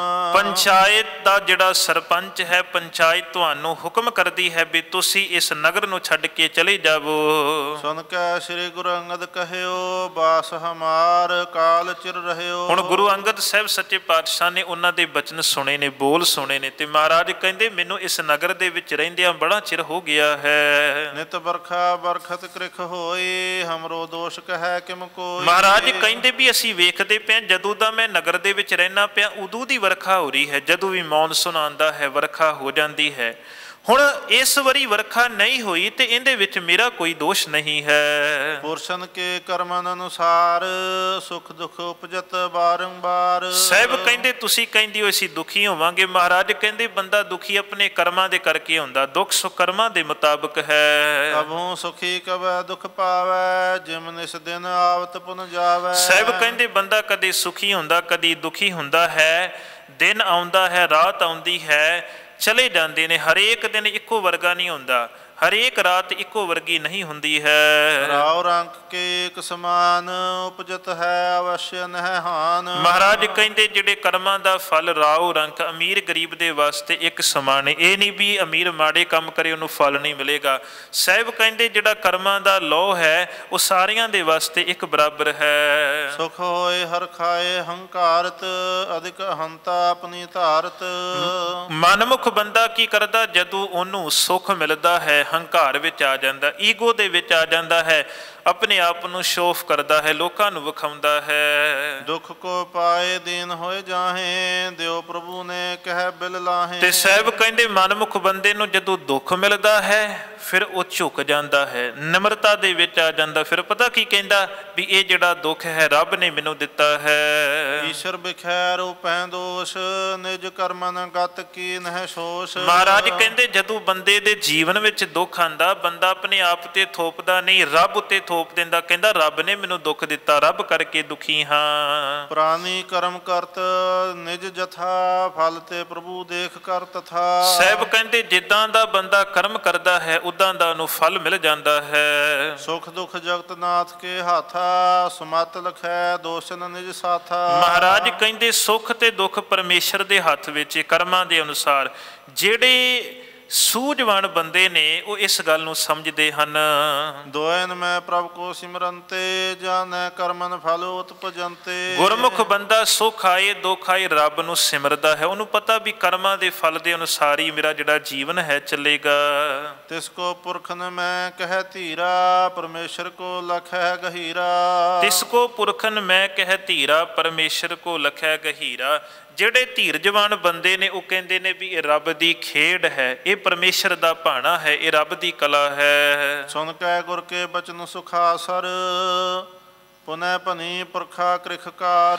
ਜਦੋਂ ਗੁਰੂ ਸਾਹਿਬ ਨੇ ਉਹਨਾਂ ਨੂੰ ਬਚਨ ਕਹੇ ਨੇ ਵੀ ਦੁੱਖ ਤੇ ਸੁੱਖ ਕਰਮਾਂ ਦੇ ਅਨੁਸਾਰ ਹੈ ਪਹਿਲਾਂ ਵੀ ਮੀਂਹ ਪੈਂਦਾ ਸੀ ਹੁਣ ਮੀਂਹ ਨਹੀਂ ਪਿਆ ਇਹਦੇ ਵਿੱਚ ਮੇਰਾ ਕਸੂਰ ਨਹੀਂ ਹੈਗਾ। ਉਹ ਜਿਹੜੇ ਕਿਰਸਾਨ ਸਨ ਜ਼ਿਮੀਦਾਰ ਸਨ ਗੁਰੂ ਅੰਗਦ ਸਾਹਿਬ ਸੱਚੇ ਪਾਤਸ਼ਾਹ ਨੂੰ ਕਹਿਣ ਲੱਗੇ ਹਨ ਕੋ ਕਬ ਸੁਨੈ ਨਾ ਗਿਆਨ ਤੁਮਾਰੋ ਮਤ ਸਭ ਕੋ ਤੁਮ ਨਿਕਸ ਸਿਧਾਰੋ। ਉਹ ਗੁੱਸੇ ਵਿੱਚ ਆ ਕੇ ਕਹਿਣ ਲੱਗੇ ਅਸੀਂ ਤੇਰਾ ਕੋਈ ਗਿਆਨ ਨਹੀਂ ਸੁਣਨਾ ਹੁਣ ਤੂੰ ਗਿਆਨ ਧਿਆਨ ਦੀਆਂ ਗੱਲਾਂ ਕਰਨ ਲੱਗ ਪਿਆ ਹੈ ਤੈਨੂੰ ਅਸੀਂ ਨਗਰ ਤੂੰ ਕੱਢਣਾ ਹੀ ਕੱਢਣਾ ਹੈ ਨਾਹੇ ਤਾਂ ਕਹਿ ਕੇ ਬਾਹ ਤੁਮਾਰੀ ਤੂਰਨ ਬਲ ਕਰ ਦੇਹ ਨਿਕਾਰੀ। ਜ਼ਿਮੀਦਾਰ ਇੰਨੇ ਕੋ ਭ੍ਰਿਸ਼ਟ ਕੇ ਕਹਿਣ ਲੱਗੇ ਜੇ ਤੂੰ ਨਹੀਂ ਜਾਏਗਾ ਤੈਨੂੰ ਬਾਹ ਤੂੰ ਫੜ ਕੇ ਇਸ ਨਗਰ ਤੂੰ ਕੱਢ ਦਵਾਂਗੇ। ਤਪੈ ਬਖਾਨਿਓ ਹਟੈ ਸੋ ਨਾਹੀ ਬਾਤੈ ਆਨ ਬਿਠਾਵੋ ਕਾਹੀ। ਸਾਨੂੰ ਤੱਬੇ ਨੇ ਪਹਿਲਾਂ ਕਹਿ ਕੇ ਭੇਜਿਆ ਸੀ ਵੀ ਉਹਨੂੰ ਸੌਖਾ ਨਹੀਂ ਕੱਢਣਾ ਬੜੀਆਂ ਗੱਲਾਂ ਬਣਾਏਗਾ। ਉਹਨੂੰ ਪਤਾ ਸੀ ਗੁਰੂ ਅੰਗਦ ਦੇਵ ਸੱਚੇ ਪਾਤਸ਼ਾਹ ਗਿਆਨ ਦੇ ਤੀਰ ਮਾਰਨਗੇ। ਤੱਬਾ ਵੀ ਬਹੁਤ ਚਲਾਕ ਸੀ। ਉਹਨੇ ਪਹਿਲਾਂ ਹੀ ਸਮਝਾ ਕੇ ਭੇਜਿਆ ਸੀ ਵੀ ਗੱਲਾਂ ਦੇ ਵਿੱਚ ਨਾ ਆਇਓ ਜਿੱਦਾਂ ਦੇ ਬੋਲ ਬੋਲੇਗਾ ਉਹਦੇ ਬੋਲਾਂ ਵਿੱਚ ਨਹੀਂ ਫਸਣਾ। ਸ੍ਰੀ ਅੰਗਦ ਸੁਨ ਬਹੁਤ ਬਿਕਸਾਨੇ ਬੁੱਢੇ ਸੁਆਸ ਬਾਕ ਬਖਾਨੇ। ਜ਼ਿਮੀਦਾਰਾਂ ਨੇ ਜਦੋਂ ਕੋੜੇ ਬਚਨ ਬੋਲੇ ਵੀ ਜੇ ਤੂੰ ਨਹੀਂ ਜਾਏਗਾ ਬਾਹ ਤੂੰ ਫੜ ਕੇ ਕੱਢ ਦਵਾਂਗੇ। ਉਸ ਤੋਂ ਅੱਗੇ ਗੁਰੂ ਅੰਗਦ ਦੇਵ ਸੱਚੇ ਪਾਤਸ਼ਾਹ ਨੇ ਕੋਈ ਬਚਨ ਨਾ ਕੀਤਾ।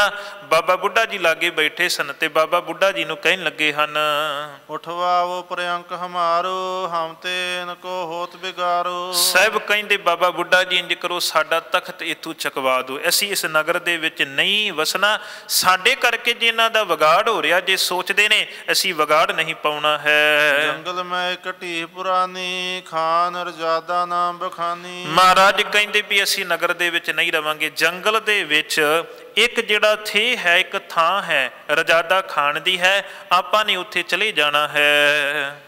ਚਲੋ ਤਹਾਂ ਹਮ ਕਰੈ ਕੰਤ ਸ਼ੁਭ ਕੰਤ ਹੈ ਸੰਤ ਮਹੰਤ।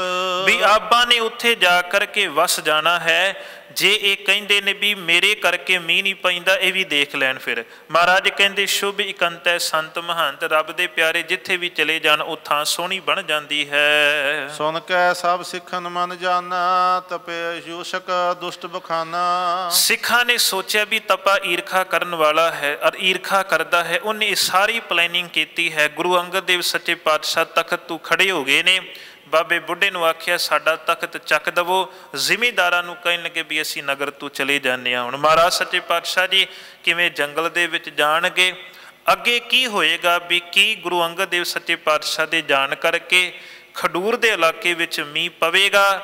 ਜਾਂ ਮੀਂਹ ਨਹੀਂ ਪਵੇਗਾ ਤੇ ਜੇ ਮੀਂਹ ਨਾ ਪਿਆ ਲੋਕ ਜ਼ਿਮੀਦਾਰ ਕੀ ਕਰਨਗੇ? ਇਹ ਵਿਚਾਰਾਂ ਆਪਾਂ ਆਉਣ ਵਾਲੇ ਦੀਵਾਨਾਂ ਵਿੱਚ ਵਿਚਾਰਾਂਗੇ। ਇੰਨੀਆਂ ਕੁ ਬੇਨਤੀਆਂ ਪ੍ਰਵਾਨ ਕਰਨੀਆਂ ਭੁੱਲਾਂ ਚੁੱਕਾਂ ਦੀ ਖਿਮਾ। ਵਾਹਿਗੁਰੂ ਜੀ ਕਾ ਖਾਲਸਾ ਵਾਹਿਗੁਰੂ ਜੀ ਕੀ ਫਤਿਹ।